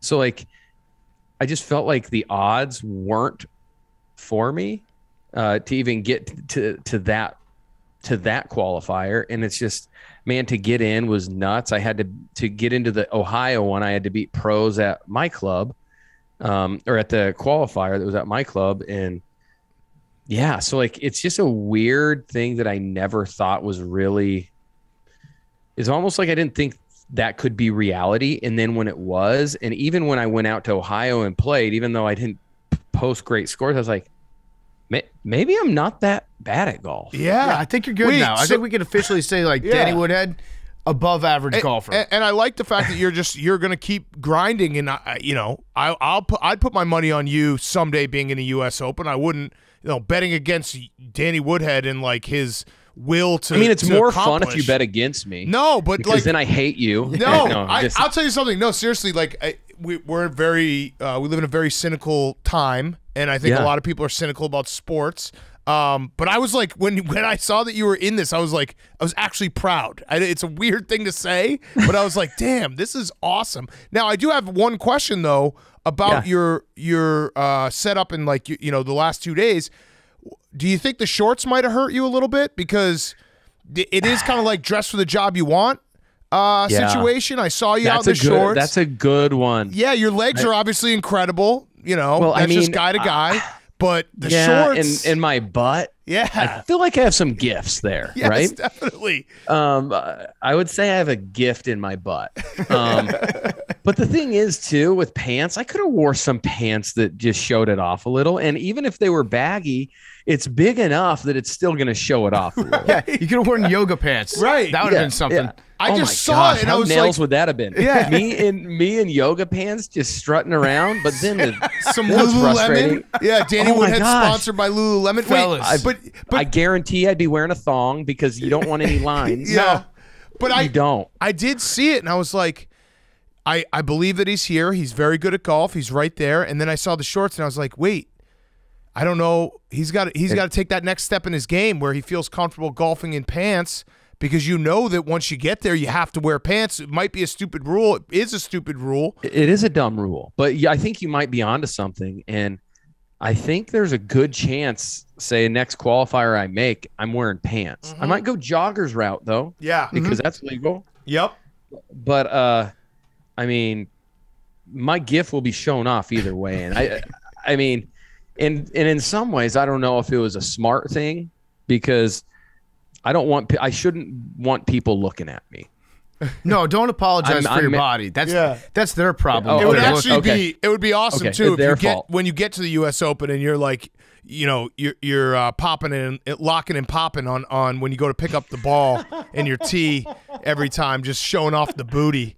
That's how you get on TV. Yeah, you. Yeah, I don't. I don't. I don't put the tee in the ground like the the standard ones. Like I'm like making sure I'm like way down. Yeah, like, you're popping down. it. You're twerking on the tee box. Maybe wearing some heels. Yeah, really lifting. It's like, it's like that's super weird. Why does Wood Woodhead puts the tee in weird? he puts it in in with his ground. mouth. What is he doing? what? This is so.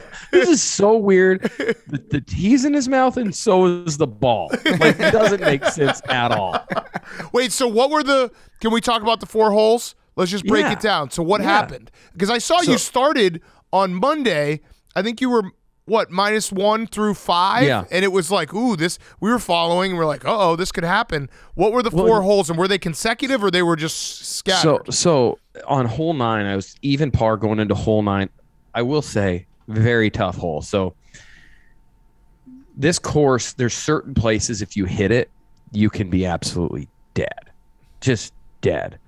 And I end up doubling it, um, and it just put it kind of put me in a tough spot, being two over going into hole ten. And hole ten, I end up bogeying that one. Here, that could have been whatever. Um, but it was just uh it was just a tough um it was just a tough few holes that I had. There were also a few like three holes later I double when I hit a sand shot to three or four feet. And because of the greens, it was a spot you can't miss it in. I had to play it like two feet out to the left, and it's like a three or four footer. And I touched it and it rolled like seven, eight feet past Damn. and then I, I mean, it was just the greens are absurd. And then I, I'm like, okay, well, this is going to be right edge, hit it firm, and it doesn't break, but it broke a mile on the way down. Right. So, right there, that's two strokes I lose because if if I'm hitting it somewhere and it's a four footer, usually I'm making a four footer, but right. Because of where it was, I was kind of dead. So that's two strokes right there, two dumb strokes on the par three, which even if it was one stroke on the par three, on that first par three, that that's that's three strokes right away. It changes the whole dynamic of just how you're attacking um, the course. Right. Um, and then I had a I, I ended up the next time I played hole nine, that par three, I double it again, put it in the bad spot, and then I will say the the other one, which I tripled. So I had three du- doubles and a triple. Usually I don't play and have a double, anyways, period. Right. Well, the triple, in all fairness, guys, like I was hanging out, eating lunch, talking with my, I was already, it was after my first round, Mhm. didn't stretch at all. Um, first swing, kind of a practice swing, cracks my back. And I'm like, oh, this could be sketch. Take the full swing, pull it, put it in the trees, just kind of dead nation. And the thing is, uh, I don't want to say it was, I was already plus seven, so it didn't matter because I don't want to be that guy. But it was, it was, I was just that one. I don't want to say as a wash, but I was hanging out with my boy uh, Nate Ebner. He was from Yeah. Columbus, came up to watch me. So I'm like, why don't I hang with my guy? I don't need to get warmed up. I, I'd have to shoot a million under to get in, anyways. But then, uh, then I end up playing, and after that, I have a stretch of like four birdies and like six or seven holes, playing pretty, playing, playing pretty decent, and giving myself other looks. Um, I will say the thing that I, looking back, I would have been a little bit more aggressive than conservative because this, the greens are very hard at that course at Springfield. I feel like um, if I was just a little more aggressive and said, whatever, I'm going to go shoot a low score, probably would have. I played a little bit more conservative than I should have. Yeah. Let's put it that way. Yeah. And, Yeah. and I think that made it to where I was a little more defense. Like I was playing too much defense and I almost getting me in trouble. You were trying to makes do the sense. fairways Yeah. and greens thing Yeah. from from Tin Cup as opposed to going for it. Yeah. Right, right. Well, I, I probably wouldn't quite tin cup it, but just being a little more aggressive because I hit the ball far enough and I have a good enough short game. Not saying I was going to shoot four under, but if I play good and I should be at least around even, um, if you do, if you just don't do a couple dumb things and and unfortunately, like I try not to, but at this course, like there's just the room for error is a little bit less. So if you're a PGA guy, your miss is probably not going to be quite as bad as my miss. Yeah, Right. and if you're playing 36 holes, that's so much golf. Too much That's golf. way too much golf. like, That's yeah, what's you know what the, the qualifier should be like, and it probably is. If you just complete 36 holes of golf, mm-hmm. then you qualify for the U.S. Open. Mm-hmm. Because Yeah, that's the- that they need to change the rules. They Yeah. need to change the rules. It's not it's not a it's not a legitimate thing. But yeah, I don't know. I, f- I felt it wasn't one of those things, and this is what's crazy, because I never thought this is how I would have felt, even though I didn't shoot like the score that I wanted to. I mean, I didn't feel out of place. yeah, that's a big And it- step. yeah, Yeah, and, and and that's the thing is like usually you'd probably feel out of place, right? I I didn't feel out of place. I just I made a couple dumb mistakes, and it's like okay, maybe next time I'm not. Uh, next time I won't do that, and um, and I'll play more aggressive than I than I did in the past. Because it's like if you want to qualify, even though even if it's a hard course, you kind of have to go out and take it regardless, because it's a one day tournament. It's Right. not. I mean, yes, it's 36 holes, but it's not four days. It's a one day tournament. If you want to qualify, you still have to go out and take it. yeah. And and I don't think I had that attitude honestly until the second round. And I was just like, whatever, man. I'm gonna just go shoot a score. And that's when I started just birdieing holes. Like because I was like, no, I'm I'm not gonna do this anymore. I'm not gonna do this like, oh, I'm only hitting it to right here. I'm hitting it. No, I'm gonna I'm gonna hit the ball hard because when I hit it hard, I hit it straighter.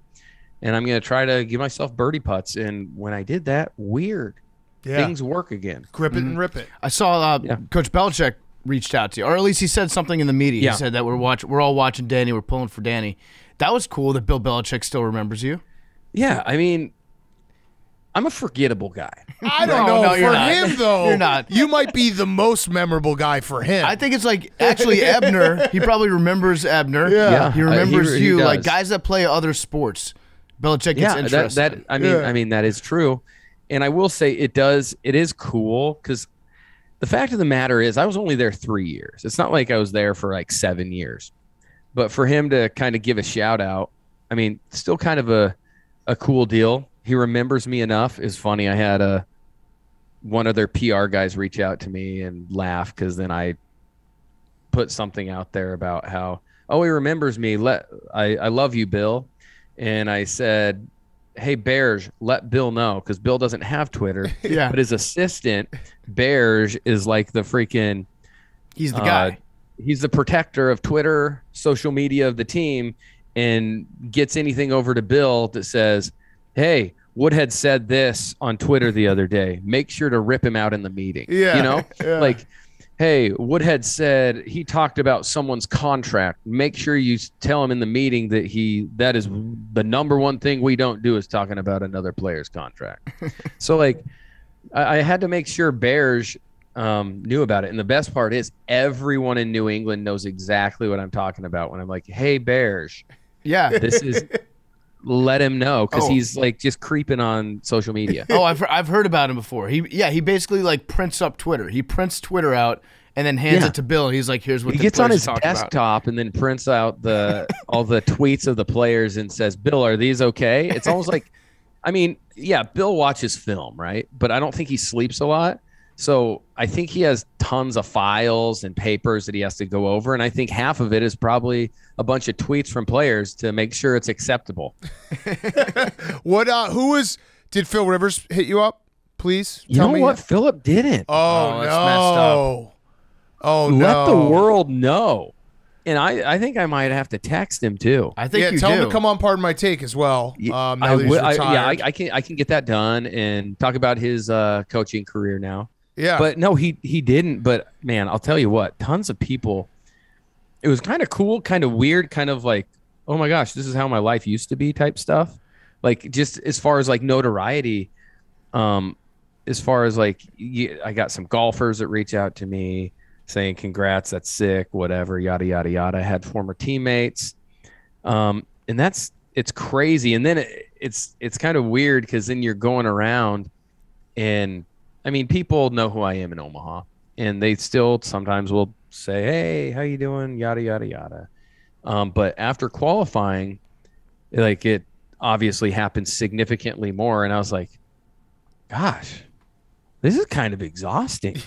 like, and I, I said, I don't know if it was my wife or someone else. I was like, "This is kind of, I guess, what it used to be like when I play." Because I, I mean, you're playing for ten years, and I was like, so I mean, I want to continue doing this, and I want to continue playing and stuff. But I was like, this is exhausting. I'd have to get used to that again. Yeah. Yeah. So Yeah. I, I guess the next question is where do we go from here? Uh, I, I know that there's some very lucrative offers out there from the LIV Tour. Mm-hmm. Yeah, yeah, yeah.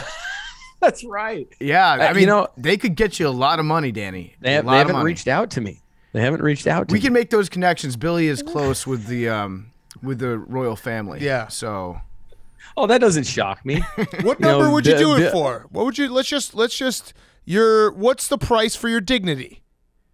You know, hey, the thing that I learned, Big Cat, you never play your hand in negotiations. True. Just You never set. You Yeah. never. You never set the ceiling. I. But it is funny to just conceptualize, and you know, there's a lot of discourse going on right now of like, Yeah, so I don't what's know the every- number? Yeah, what's the number that is enough that you just never have to like listen to anyone else ever again, so it just doesn't matter. Wrong or right? that's Like there is I- a I've number. I haven't thought about it. Oh, everyone has a number. I mean, Right. PFT, you have a number to play in the LIV Golf Tour, also. Oh, I, Everyone I does. definitely have a number. I- I- It's as close as you'll ever get to defining the term "fuck you" money. right. That's what we're talking about here. Right. So- it's it's but- basically buying enough, having enough money that when everyone says you're a shitty person, you can be like, I don't care because I'm on a It's like, well, did you Yeah. did you not see what did Yeah. you not see my Live contract? Right, and it's a horrible thing to say because we all like would like to be good people, but everyone, I think, if you ask them, if you hit them with truth Has a serum, number. there is a number, Well, for the rest- and they have to admit that. for the rest of your life, you can tell anybody scoreboard. Yeah, right. You just, you just point, and you're like, "That's it. That's my bank no, but it's not even it's- Whatever. It's, the number that you don't even have. Like those people who are like, "Hey, you're a bad person." They don't even come. They don't even come in your circle anymore. They, Yeah. you, they can't even get Yeah. to you. and and there, there No, are some because like, because you because you have that number. yeah, you have that number. there's some like, valid uh, points sorry. too about like you know if, if you want to judge whatever corporation you're currently doing business with by the actions of their CEO. Like, do you take Ubers? Yeah. You know, like there, there's. I think the uh, Saudi royal family actually is the biggest investor in Uber Yeah, as well. probably. So like, there's there's like, But I wouldn't a even lot do of that. Stuff, there's a lot of stuff that that you can point fingers at. It's just like a little bit more explicit here. And now it seems like I don't know. I I would honestly, I, I'm fine with anybody doing it. It would break my heart if Max Homa did it. yeah, It would break my heart. Yeah, no, there's definitely some people. I don't I'd be think upset. Max will. No, I don't he think he won't. would. He won't. Um, he's also uh, he's also half Jewish. I don't think they would want him. So um, Did- did just he being reach- factual here? Did he reach out to you, this- yeah. Who? Max? No. Oh yes, Max did. Yeah, Nice. that doesn't Cool. surprise me. You guys Yeah. seem like you'd become like instant best friends. Yeah, he's. I mean, he's awesome. Like, awesome, awesome dude. Um, I was fortunate enough when we went down to Arizona over spring break, my kid's spring break. Uh, he had me out and we played him, him and uh, Joe Skovron. That's Rickie Fowler's caddy, and had a great time. Like, just regular dudes, and I mean, it was fun. It was it was a great time. It didn't feel like. I mean, you just feel super normal, right? Like whereas like if you're playing with some other guys on that are very famous, you it's like, oh gosh, is this going to be like weird or whatever? But it's it was even though he's like a top top player in the world, he doesn't make you feel like that. He just it's like you're a regular dude. I, it can't wait awesome. till I can't wait till he wins the Masters and then just forgets all of us. I know that's the only thing. it's gonna Like, happen. like Big Cat, PFT, Woodhead. Yeah. Oh, Who are you guys? don't- Oh, you need an like- we're like- autograph? we're- Yeah. yeah, we're like, hey, congrats on the win. I Yeah. love your green jacket. Who dis? Yeah. Huh? Yeah, he gets green bubble. Sorry, you're gonna Green, have to. I was yeah. like- green jacket, like- green bubble. yeah, That's you're how gonna, it goes. Yeah, you're gonna have to talk to my uh, PR person if you want to set Next up thing an you know, I'm blocked. Yeah. My phone number's blocked. I'll send you It's an like- autograph hat. I think Max might be the only one that's immune to it, but I also he is getting. But it scares you. So good at golf now, and he is like the trajectory. I do, if you had to bet, if I had to bet right now, I'd put two, put two bets. Danny Woodhead will be in the U.S. Open at some point. Let's go. And Max Homa will be win a major. And, I'd, and I'd the bet thing both is, those. he's he's he's having a child, My best years were after my kids. The bump. The bump. Yep, it's a fact. We studied it this year in the NFL. You score a touchdown whenever you have a kid. Mm-hmm. I mean, listen to Big Cat's voice. Yeah. Better. Yeah, it's bad. It got better. Yeah, it's gotten worse. Um, I yeah, I don't know if it, it translates in, po- in podcasting. It might be the one, the one uh, profession that's immune to the to the baby bump. Well, well, I think well, also well- not having kids well, makes you worse at podcasting too. I think just age. yeah, Father Time Uh, yeah. steals everything. It's Oh, undefeated. It just it, it, it is undefeated, right? Yeah. Hey, hey, Big Cat, has your uh, pickup basketball game gotten better? I'm I so can see you getting boards. dude i'm tra- i'm i'm training now um i'm literally just going to the gym and i got a guy it's called swish house so they have like classes but i i basically have hired a guy who just runs me through drills because i'm i want i i want to start playing again i stopped during Yeah. covid but i also Oh, know that if i just go right back into it i'll just tear everything in my entire body so it's a Yeah. it's a slow ramp up but It's i want a little climb. yeah, right. And also the best part is I show up and when I play pickup, I basically I could play two hours of pickup and I could maybe take five shots because my job, I know my job. Do your job. It's Yeah, to rebound, it's set picks, it's to you know get dirty down low, play some defense. I show up when I'm one on one and I I get to shoot like 300 threes, which I never would do in a game. So right. it's fun. But that's but that's awesome. Yeah. It's, it's the climb. I can I can see uh, the Miley Cyrus climb song in your earpods. yeah, yeah. I'm gonna be whatever ready. the U.S. Open for uh, basketball is. For uh, for uh, pickup basketball. It is very cool that the that the U.S. Open does have that facet to Bro. it, where Oh, like so cool. ev- anyone can qualify. Well, the the NFL needs to probably get something like that for like kickers, right? PFT. Agreed. Um, to where it's like a bunch of guys try out, and the next thing you know, you have a guaranteed contract. Because I mean, it'd be tough for for the for the pod, because then you'd be playing probably for I don't know the Commanders, and then it just that complicates things. Well, we though. get our ratings would go down because who wants to have a Washington Commander on every week? Yeah, like it would actually get That's- it would get less interest. All they would be able to talk about is like, oh, the Commanders lost to the Giants nine to ten. Yeah, Ron again. Rivera would have you shut down. Yeah. I, I think they should add one more wrinkle for the U.S. Open. I love that anyone can like, uh, you know, realistically get in. Yeah. They should have one spot though for like the everyman golfer, where when you go to the qualifying, you're 36 holes, you shoot, and every beer is a stroke off of your score. So Mm. we get like one just guy who's just fat and wasted into the U.S. Open, and he can drink like that in But the U.S. sol- Open. but a solid golfer. Yeah, right. He's a solid golfer, like, but he's also a really good like- drinker. He shoots like seventy-seven, Right. I think what but Big thing. But he Cat's had talking twelve about. beers, Yeah. so he shoots sixty-five. Yes, You- You just mean Like- John Daly. Yeah. You just want John Daly in oh, the Yeah. U.S. Open, Yeah. which I Oh agree my a gosh. hundred percent. Yeah. What if, what if they did? Maybe that's what the LIV Tour's doing. Oh, that'd be incredible. They're just like, all right, you shoot your score, and then however many beers you have. Yeah. A bong And rip counts as two strokes. And just Yeah, guys are or- wasted at the end. Or, or, or it's like, or if it's an IPA, it's minus two. yeah. Yeah. You know what I mean? These it's are like, good oh rules. These are gosh. good rules. You know what we should really Like, do? We Next should thing you know, a guy shoots fifty-nine every week. Yeah. we should do our version of the LIV Tour where we ha- we implement these rules and then we get like exclusively marketed to John Daly to play. Right. And then be like, "Hey John, this this is a sport that was invented for you." And it's funded by North Korea.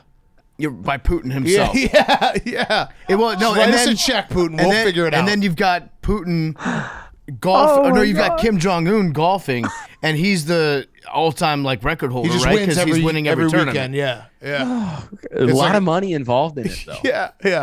Um, all right, I had one last question for you, Danny. It's Yeah. the Rhoback question. R H O B A C K dot com. Yes. Use code TAKE for 20% off your first purchase. Rhoback, talking about golf, has Q-zips, hoodies, polos, the best in the biz. Uh, I know that the the uh, bet was stood for a long time for PFT. Are you, are we going to officially make it that if you make a U.S. Open, PFT cuts his hair? Because it was think I- if you if you win a Super Bowl, PFT cuts his hair. I kind of like this wrinkle that it's still you and it's just a new challenge. I I love that idea, and I don't know why. I don't know why we wouldn't make it that. Yeah, Yeah, it, it seems like it fits. it's perfect. No, I, I said I got a little carried away when I saw how close you were. I said that I would shave every hair off my body. You don't. You did I get carried away because if I would have had a good day, you would have been shaving every hair on your, which would have been kind of sick. We'd be like, oh my gosh, it's a little spooky. What's happening with this guy? Yeah. But I would love it. Maybe that's if he makes the cut I, the U.S. I think Open. if you make the Hey. cut, it's every Yeah. hair. If you make the U.S. Open, I'll cut my hair into like Okay, I was regular I- length. Either way, it would be sick if you did shave, shave every hair on your body, and we also made you wear reading glasses.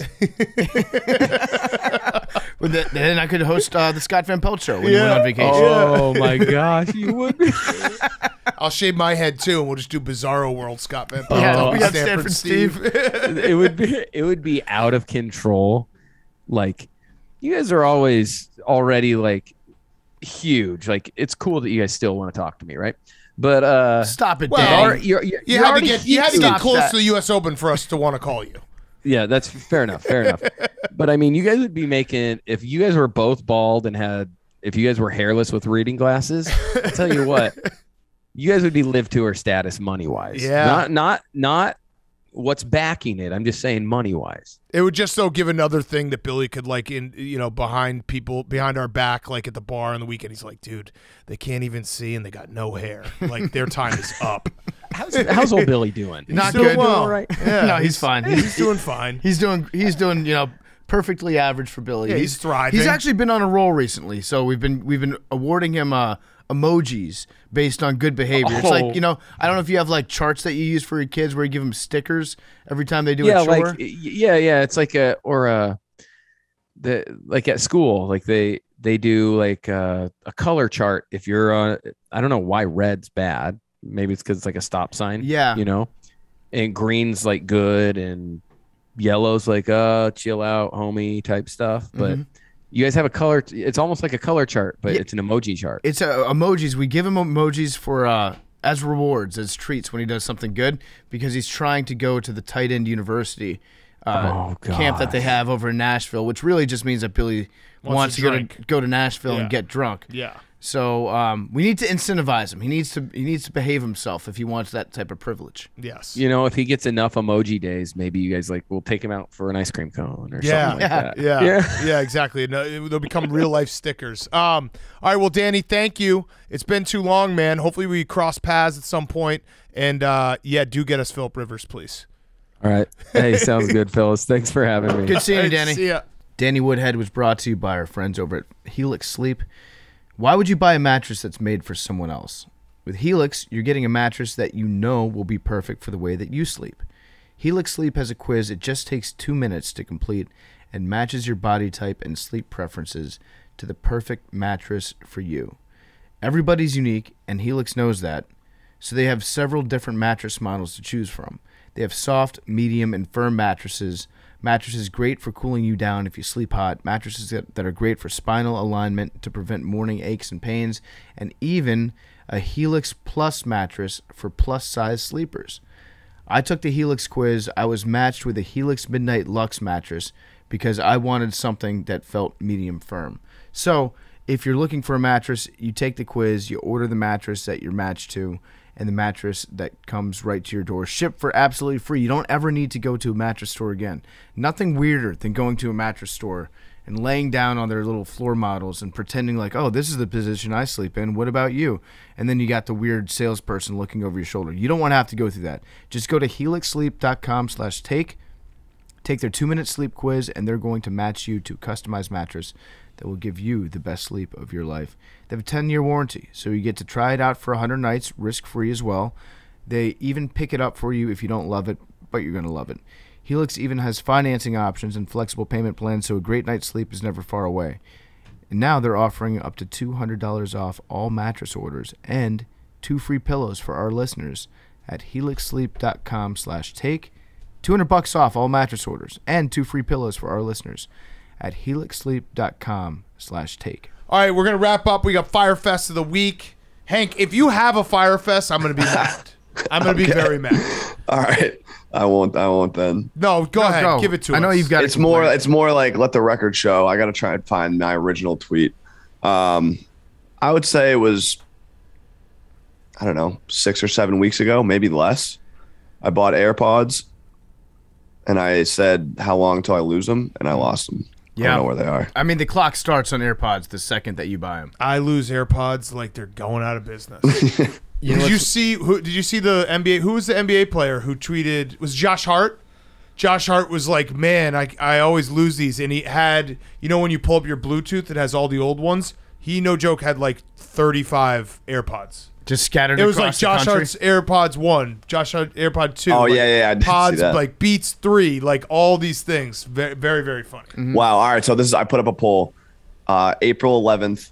I purchased AirPods. This tweet will serve as bookmark for when I lose them. Place your bets. Less than a week, four percent. One week to three months, forty-eight percent. I was the winner of the poll. Three months to eight months, thirty-nine percent. Eight plus months, nine percent. So people people got me. Yeah, They got me read like a book. I mean AirPods. Favorite one. AirPod. There's never been a more clear example of a product that was designed by a company specifically so lose that them, people yeah. would lose them and then have to buy them again. Without a doubt. Without a doubt. And the fact that you can't, if you lose the case, you can't just replace the case. Yeah. It's crazy. Yeah. yeah. Um. All right. Sorry Thoughts for your prayers, Hank. AirPods. That's a shitty week. Tough week. Yeah, dude. I know. Real brutal. Uh, PFT, your fire Hope things turn around. Um, my Fyre Fest. This is actually a pretty funny Fyre Fest. So um, I've mentioned on the show a couple times. I'm I'm going down to the shore this summer. Uh, have a house down there again. It's gonna be a great time. And uh, part of going down there is we're, we're trying to like sponsor some of the things I'm going to be doing. For example, like grilling out. Maybe we can get some Omaha steaks there. And um, You're getting free stuff. yeah, and, Nice plug. And Yeah. yeah, and one of our one of our uh, favorite companies in the world, Chevy, is going to be giving me the Silverado that Billy and I and Bubba drove across the country on our way to to the Super Bowl. So um, we're gonna get it wrapped was the idea, and I wanted to put I wanted to turn the Silverado into the Silver Shark, like put put like gills on the side and have like fins and teeth and shit going over the grill.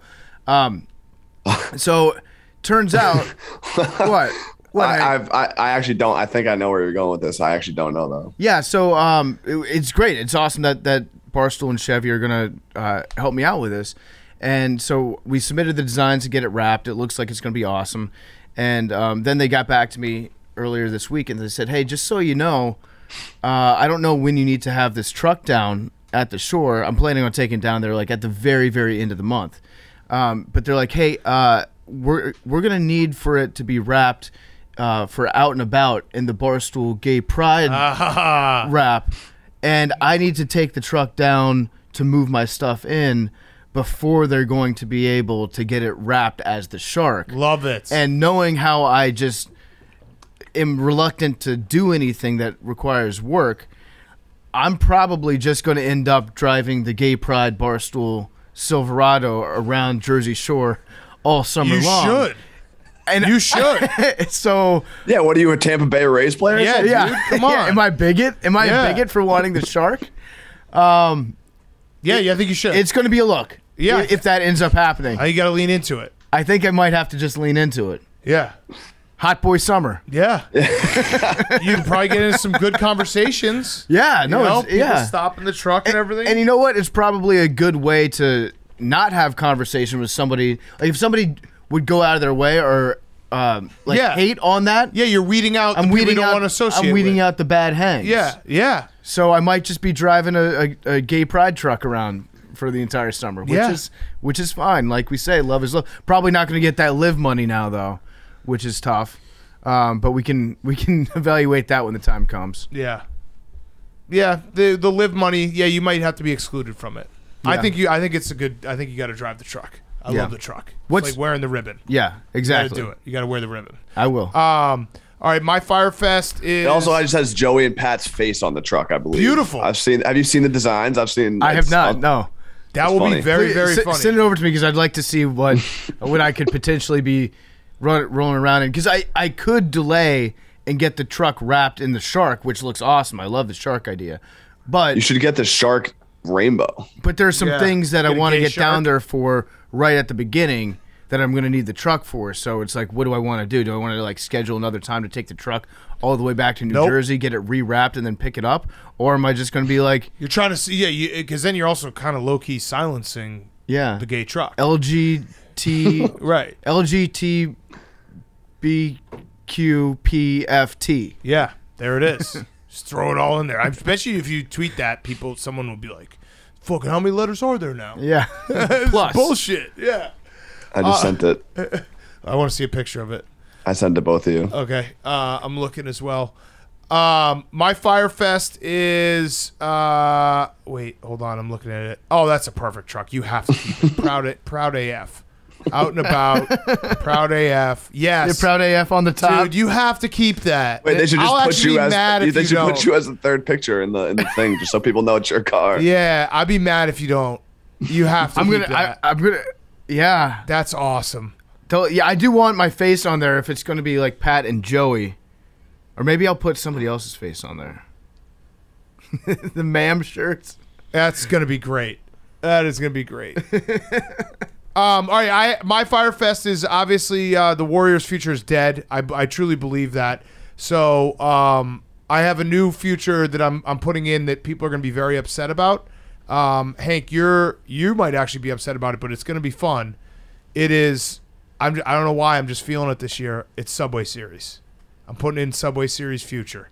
The, I'd be down for that. the Mets and the Yankees to meet in the World Series. I think it's 14 to 1. Um, if you're a Mets or Yankee fan, sorry. But I, when I said it, I, who was mad? Oh, Bubba was mad at me because he was like, fuck that. That would be brutal. But I just want to see it in this office and the chaos that ensues.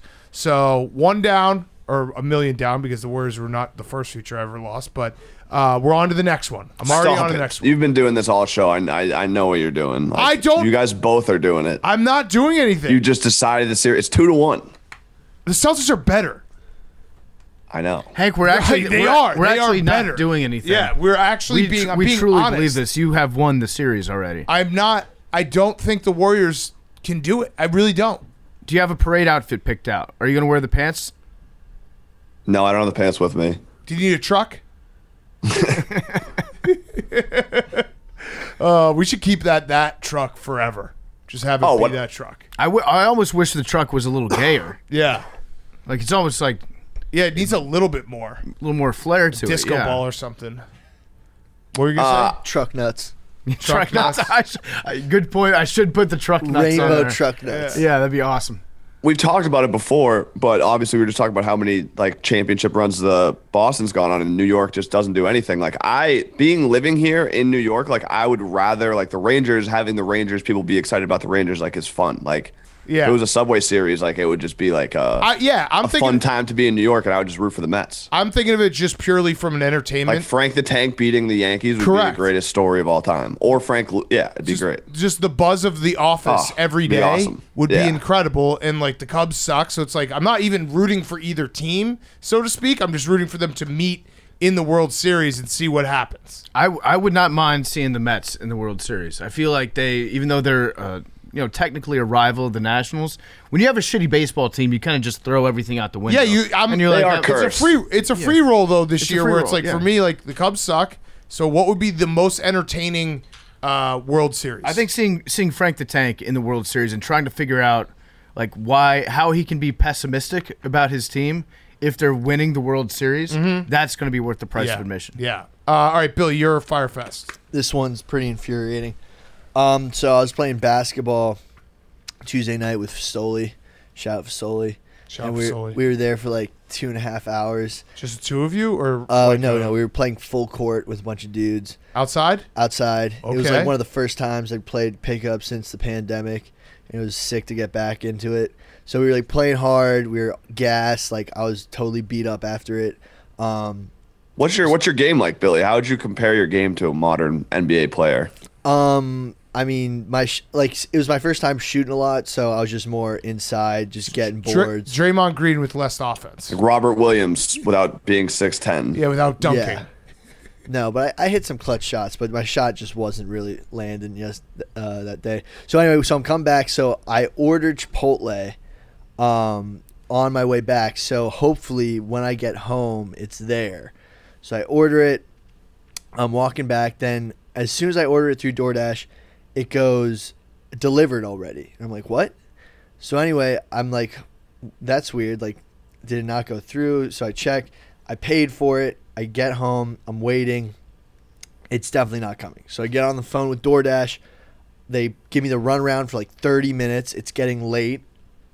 It's like 9:30, 9:45. And so basically, they took my money. I have no food and I don't keep food in my fridge because I've been traveling recently. So it's getting late. Everything's closing. So basically, I'm hungry as fuck. I didn't get my food, and they took my money, and I'm pissed. Did you go to So- bed without That is without dinner? No, I had to. I went to the deli that was. I basically ate an ice cream dinner because that was the only option. I noticed that you're a little bit swollen now. Chipotle, fix this. Chipotle, I'm Fix pissed. I'm a lawyer. this. I'm guac mode verified, and you took my doubled protein rewards points. Fix it. I want him to have a free gift card I yeah, Monday. I, I want, want- I want the black card for Billy. I want my points back. I want my money back because Yep. I have tons of Chipotle Fix it. Points. Fix I'm a loyal customer, and I think DoorDash stole my burrito. I don't know what happened, but I called. They gave me the runaround. There's they kept asking me for my order number, which doesn't exist anywhere on my order confirmations. I'm Fix it. pissed. I'm a loyal Chipotle. Wait, so did sounds like you might not have ordered. No, Yeah, it no, took my didn't. money. I took my money. It's like uh, my Chase card shows that I was charged for my burrito. So I'm pissed. Now you're broke. There's This is nothing of worse than getting the runaround. Fire Yeah. Fest. Yeah. But yeah. And no burrito. Justice for Billy. All right, Jake, finish us off. Yeah, so we were in Albany last week and we were told to go to this like classic sandwich place and we were in the parking lot of the sandwich place and Billy's like there's no seats. I want to sit. I'm tired from getting my butt kicked by memes on a lacrosse field. Oh and Billy's like, let's just go to TGI Fridays. I'm like, we are not going to TGI Fridays. Dukes and memes just stayed silent, and Billy's like, "Turn the car around. We're going No. to Fridays. Oh, we go to. Oh, Fridays, and it ends how you would expect." it So. Jake, why? Yeah. Tell, tell oh, you No. diarrhea again? No. not diarrhea, but No, Jake, why? Jake- Oh, well. why did I you can't not tell if that was Jake or TGI Billy Fridays? talking there. yeah. It was Friday. It was Friday. Everyone So like you have to go to oh, no, TGI fuck. Fridays. Sick. Yeah. Sick. memes and dudes. Win in Rome. Yeah. Memes and Dukes were like, "Yo, TGI Fridays," and they were all down. They didn't Dukes say a word. Down. Well, they d- Memes. How how Me- down were you, and me- how down was Dukes? Memes doesn't have a mic right they now. they were down. They were down. So anyway, thumbs we, up or thumbs Lie. down? we were in the lie. no. Everyone was down. Memes Lie. memes will back this up. we were down to sit, but we were at the sandwich spot. Billy just the like, sandwich spot was a deli, and like it probably would have been a great place, but we'd been out in the sun for like five hours. It was So you had to ninety sit. degrees. I wanted So to you're sit. Diva Billy. I wanted to sit in a Diva booth. Billy. No, no, I wanted to sit in a booth and just get like unlimited water refills because we were all dehydrated. Everyone else else was the same vibe, so everyone was vibing for TGI Fridays. When we got to TGI Fridays, It was Friday. Like I will, Yeah. I will Yeah, say no, that. there was He said that, there was all the deals. Jake started. Oh, there were all the deals. Jake What, what started. kind of deal is like? Uh, was that five dollar Long Island iced tea night by any chance? No, we weren't drinking. We were driving. Um, so we were I, walking. in- that's a lie. So that you can always tell when there's a bigger lie when Billy puts a small lie out there. well, we couldn't. st- It was like It's a it was Russian, lunch. Russian No, nesting everybody dolls of lies. Everybody was What? driving at the time, so no one could drink. Yeah. All right, that's No. that's not true. So what really we, happened? as We a did- collective, were driving. anyway, so meme. So we, like, it was Dukes was driving. If it wasn't the group consensus, the driver wouldn't have drove us to TGI Fridays. The vibes were high, and then when True. Jake got in there. Jake got in there. Jake was just like getting angry at the other customers for just existing. Jake was like, "Oh, look at this place! Oh, oh, this is disgusting." I was like, He's trying to throw me J- under the J- bus for getting Jake's mad at looking other customers. Jake's looking at Yelp reviews and being like, "Oh, they it's just reheated everything. It's disgusting food." So I talked to one of the guys coming out of the store. I'm like, "Yo, did you have a good meal there?" And he goes, "Yeah, it was great." I was like, "Okay, like fuck Yelp. This guy says it was good." So we go in and we had a great time. We got wing uh, wings. We got like really good sodas, and it was Friday. Oh, really good sodas. Nice. unlimited refills. It and it good- was good it was mix? just a good Friday. It was just like at that point in time, like? it was great. Yeah, At they that sat point, us at a dirty yeah. table, made us get up because they said Oh, your it wasn't dirty. a dirty table. They just All right, had can, to can clean it can I butt in real quick? Jake, it sounds like you're being a little bit elitist towards TGI Fridays. Exactly. it's not my spot. Mm-hmm. I'll just Yeah. say that. I, I do think that like if you were going to like a really well known deli, you should do that. Like, Right, if you're yeah, a and we're in different the parking city, lot for it. You should try. a I, I different- agree with that. If, if Billy's whole thing was, I want to go someplace where I can sit down, first of all, that's code for Billy they to had like, tables I and want chairs to in go the to a place that has cocktails and beer. Right. Just be honest, Billy. Wait, like, so this- you didn't want to go to the great No, deli I because think- they didn't serve beer. I no, actually- that wasn't. The, I think it's actually a, the rare case where both of you. Uh, it was like Billy's diva was passed to Jake's diva, so you both are divas. It was bi- you. It's transitive diva property. Mm-hmm. So that Yeah. that does that does that come back to you guys as the parents? No, they were they were we weren't involved with them that day. So that's they're- I mean, yeah. you can't only so much you can do. They were at summer camp. Like s- Ted Bundy had a mom. it's not her fault. There was some low key heat stroke vibes coming out. What does that mean? That means I was Expand Like you that. guys are basically in the desert. No. Sounds like. I mean, Expand on Low low-key key heat stroke vibe. we had no like water. Scientifically. We had to play Albany is hot this time of year. They don't have. was they didn't 90 have water degrees. at the lacrosse practice. They didn't have- of the major league. Lac- No, so that's they a Had a cooler in the field. you realize you to could have just said it was hot out. That's you a didn't huge low story key if heat true. stroke vibes. I mean, that Premier Lacrosse League is not providing water to their players. No, no, because we got moved off the main field because they had to paint some lines. So we were on this side field that had no waters, and like it was so hot. Like memes, I need some backup here. Thank We you were- for your service, Billy. Yeah, we were thank playing surviving hard. this. How on a scale of one to ten, how hungover were you? I wasn't. lost his I, voice. You can see that in PMTV. I Yeah. wasn't hungover. I was, dude. This is this anyway. okay. I just need. I wanted to sit down and get like cold ice water just refilled so I could chug it. It was that was the vibe. They didn't have bottles of water at the deli. No, but They like, did. Dude, how terrible. they would had it be? tables and chairs. No, Billy, Oh, want- no. Billy wanted a How booth. famous of a deli? Oh wait, not they had, that wait, you famous. could have sat. That's Yes, not we true. could've oh, he just We wanted went the food. next day. I I got All it for right, us. because now Billy it's- wasn't you guys are fully yeah. B- Billy, you were being a diva, so No. was Jake, but oh, demanding a booth, a specifically a booth. But just like imagine being so so hot and just And having to sit in a endless chair. ice water Yeah. in a and sitting in a booth after being like you getting your ass like beat with a giant metal stick by memes. Mm. That's a sentence. Yeah, I mean, Put I'm that- still make a most- quote board for that. love please. is love again. Yeah. We have the guy part of my quote. That would be a good one. Yes, that would be great. Yeah. All right. Anyway. uh, good job. Numbers. 26. 18. 69 on June 9th, which day is currently. Just to keep Hank humble, he still has not gotten it. Uh, 26. I'm gonna go twenty-seven. Or no, 20. Did 26 get taken? Yeah, it's. Oh, 20 no, no. 26, 27, 29 are available. All right, 26. Three for memes. Evan. If there is a God, 11. 69 will hit What'd you on say, June Hank? 9th. 18. Banner 18. Six for No. Bubba. 69. 69 on 69 day. What do we got? Oh, is it gonna uh, go up? Yep. Oh. 60, 56. 56. I feel like that's twice in a couple weeks. Yeah. Second time. How how when was the other time? The debut, August 27th, 2020. Oh, that was the Pretty first much. ball ever. Yeah. First, well, we weeks. did like ten that day. Yeah. Oh, okay. Yeah. Love you guys. Orangutans regularly take hostages for food.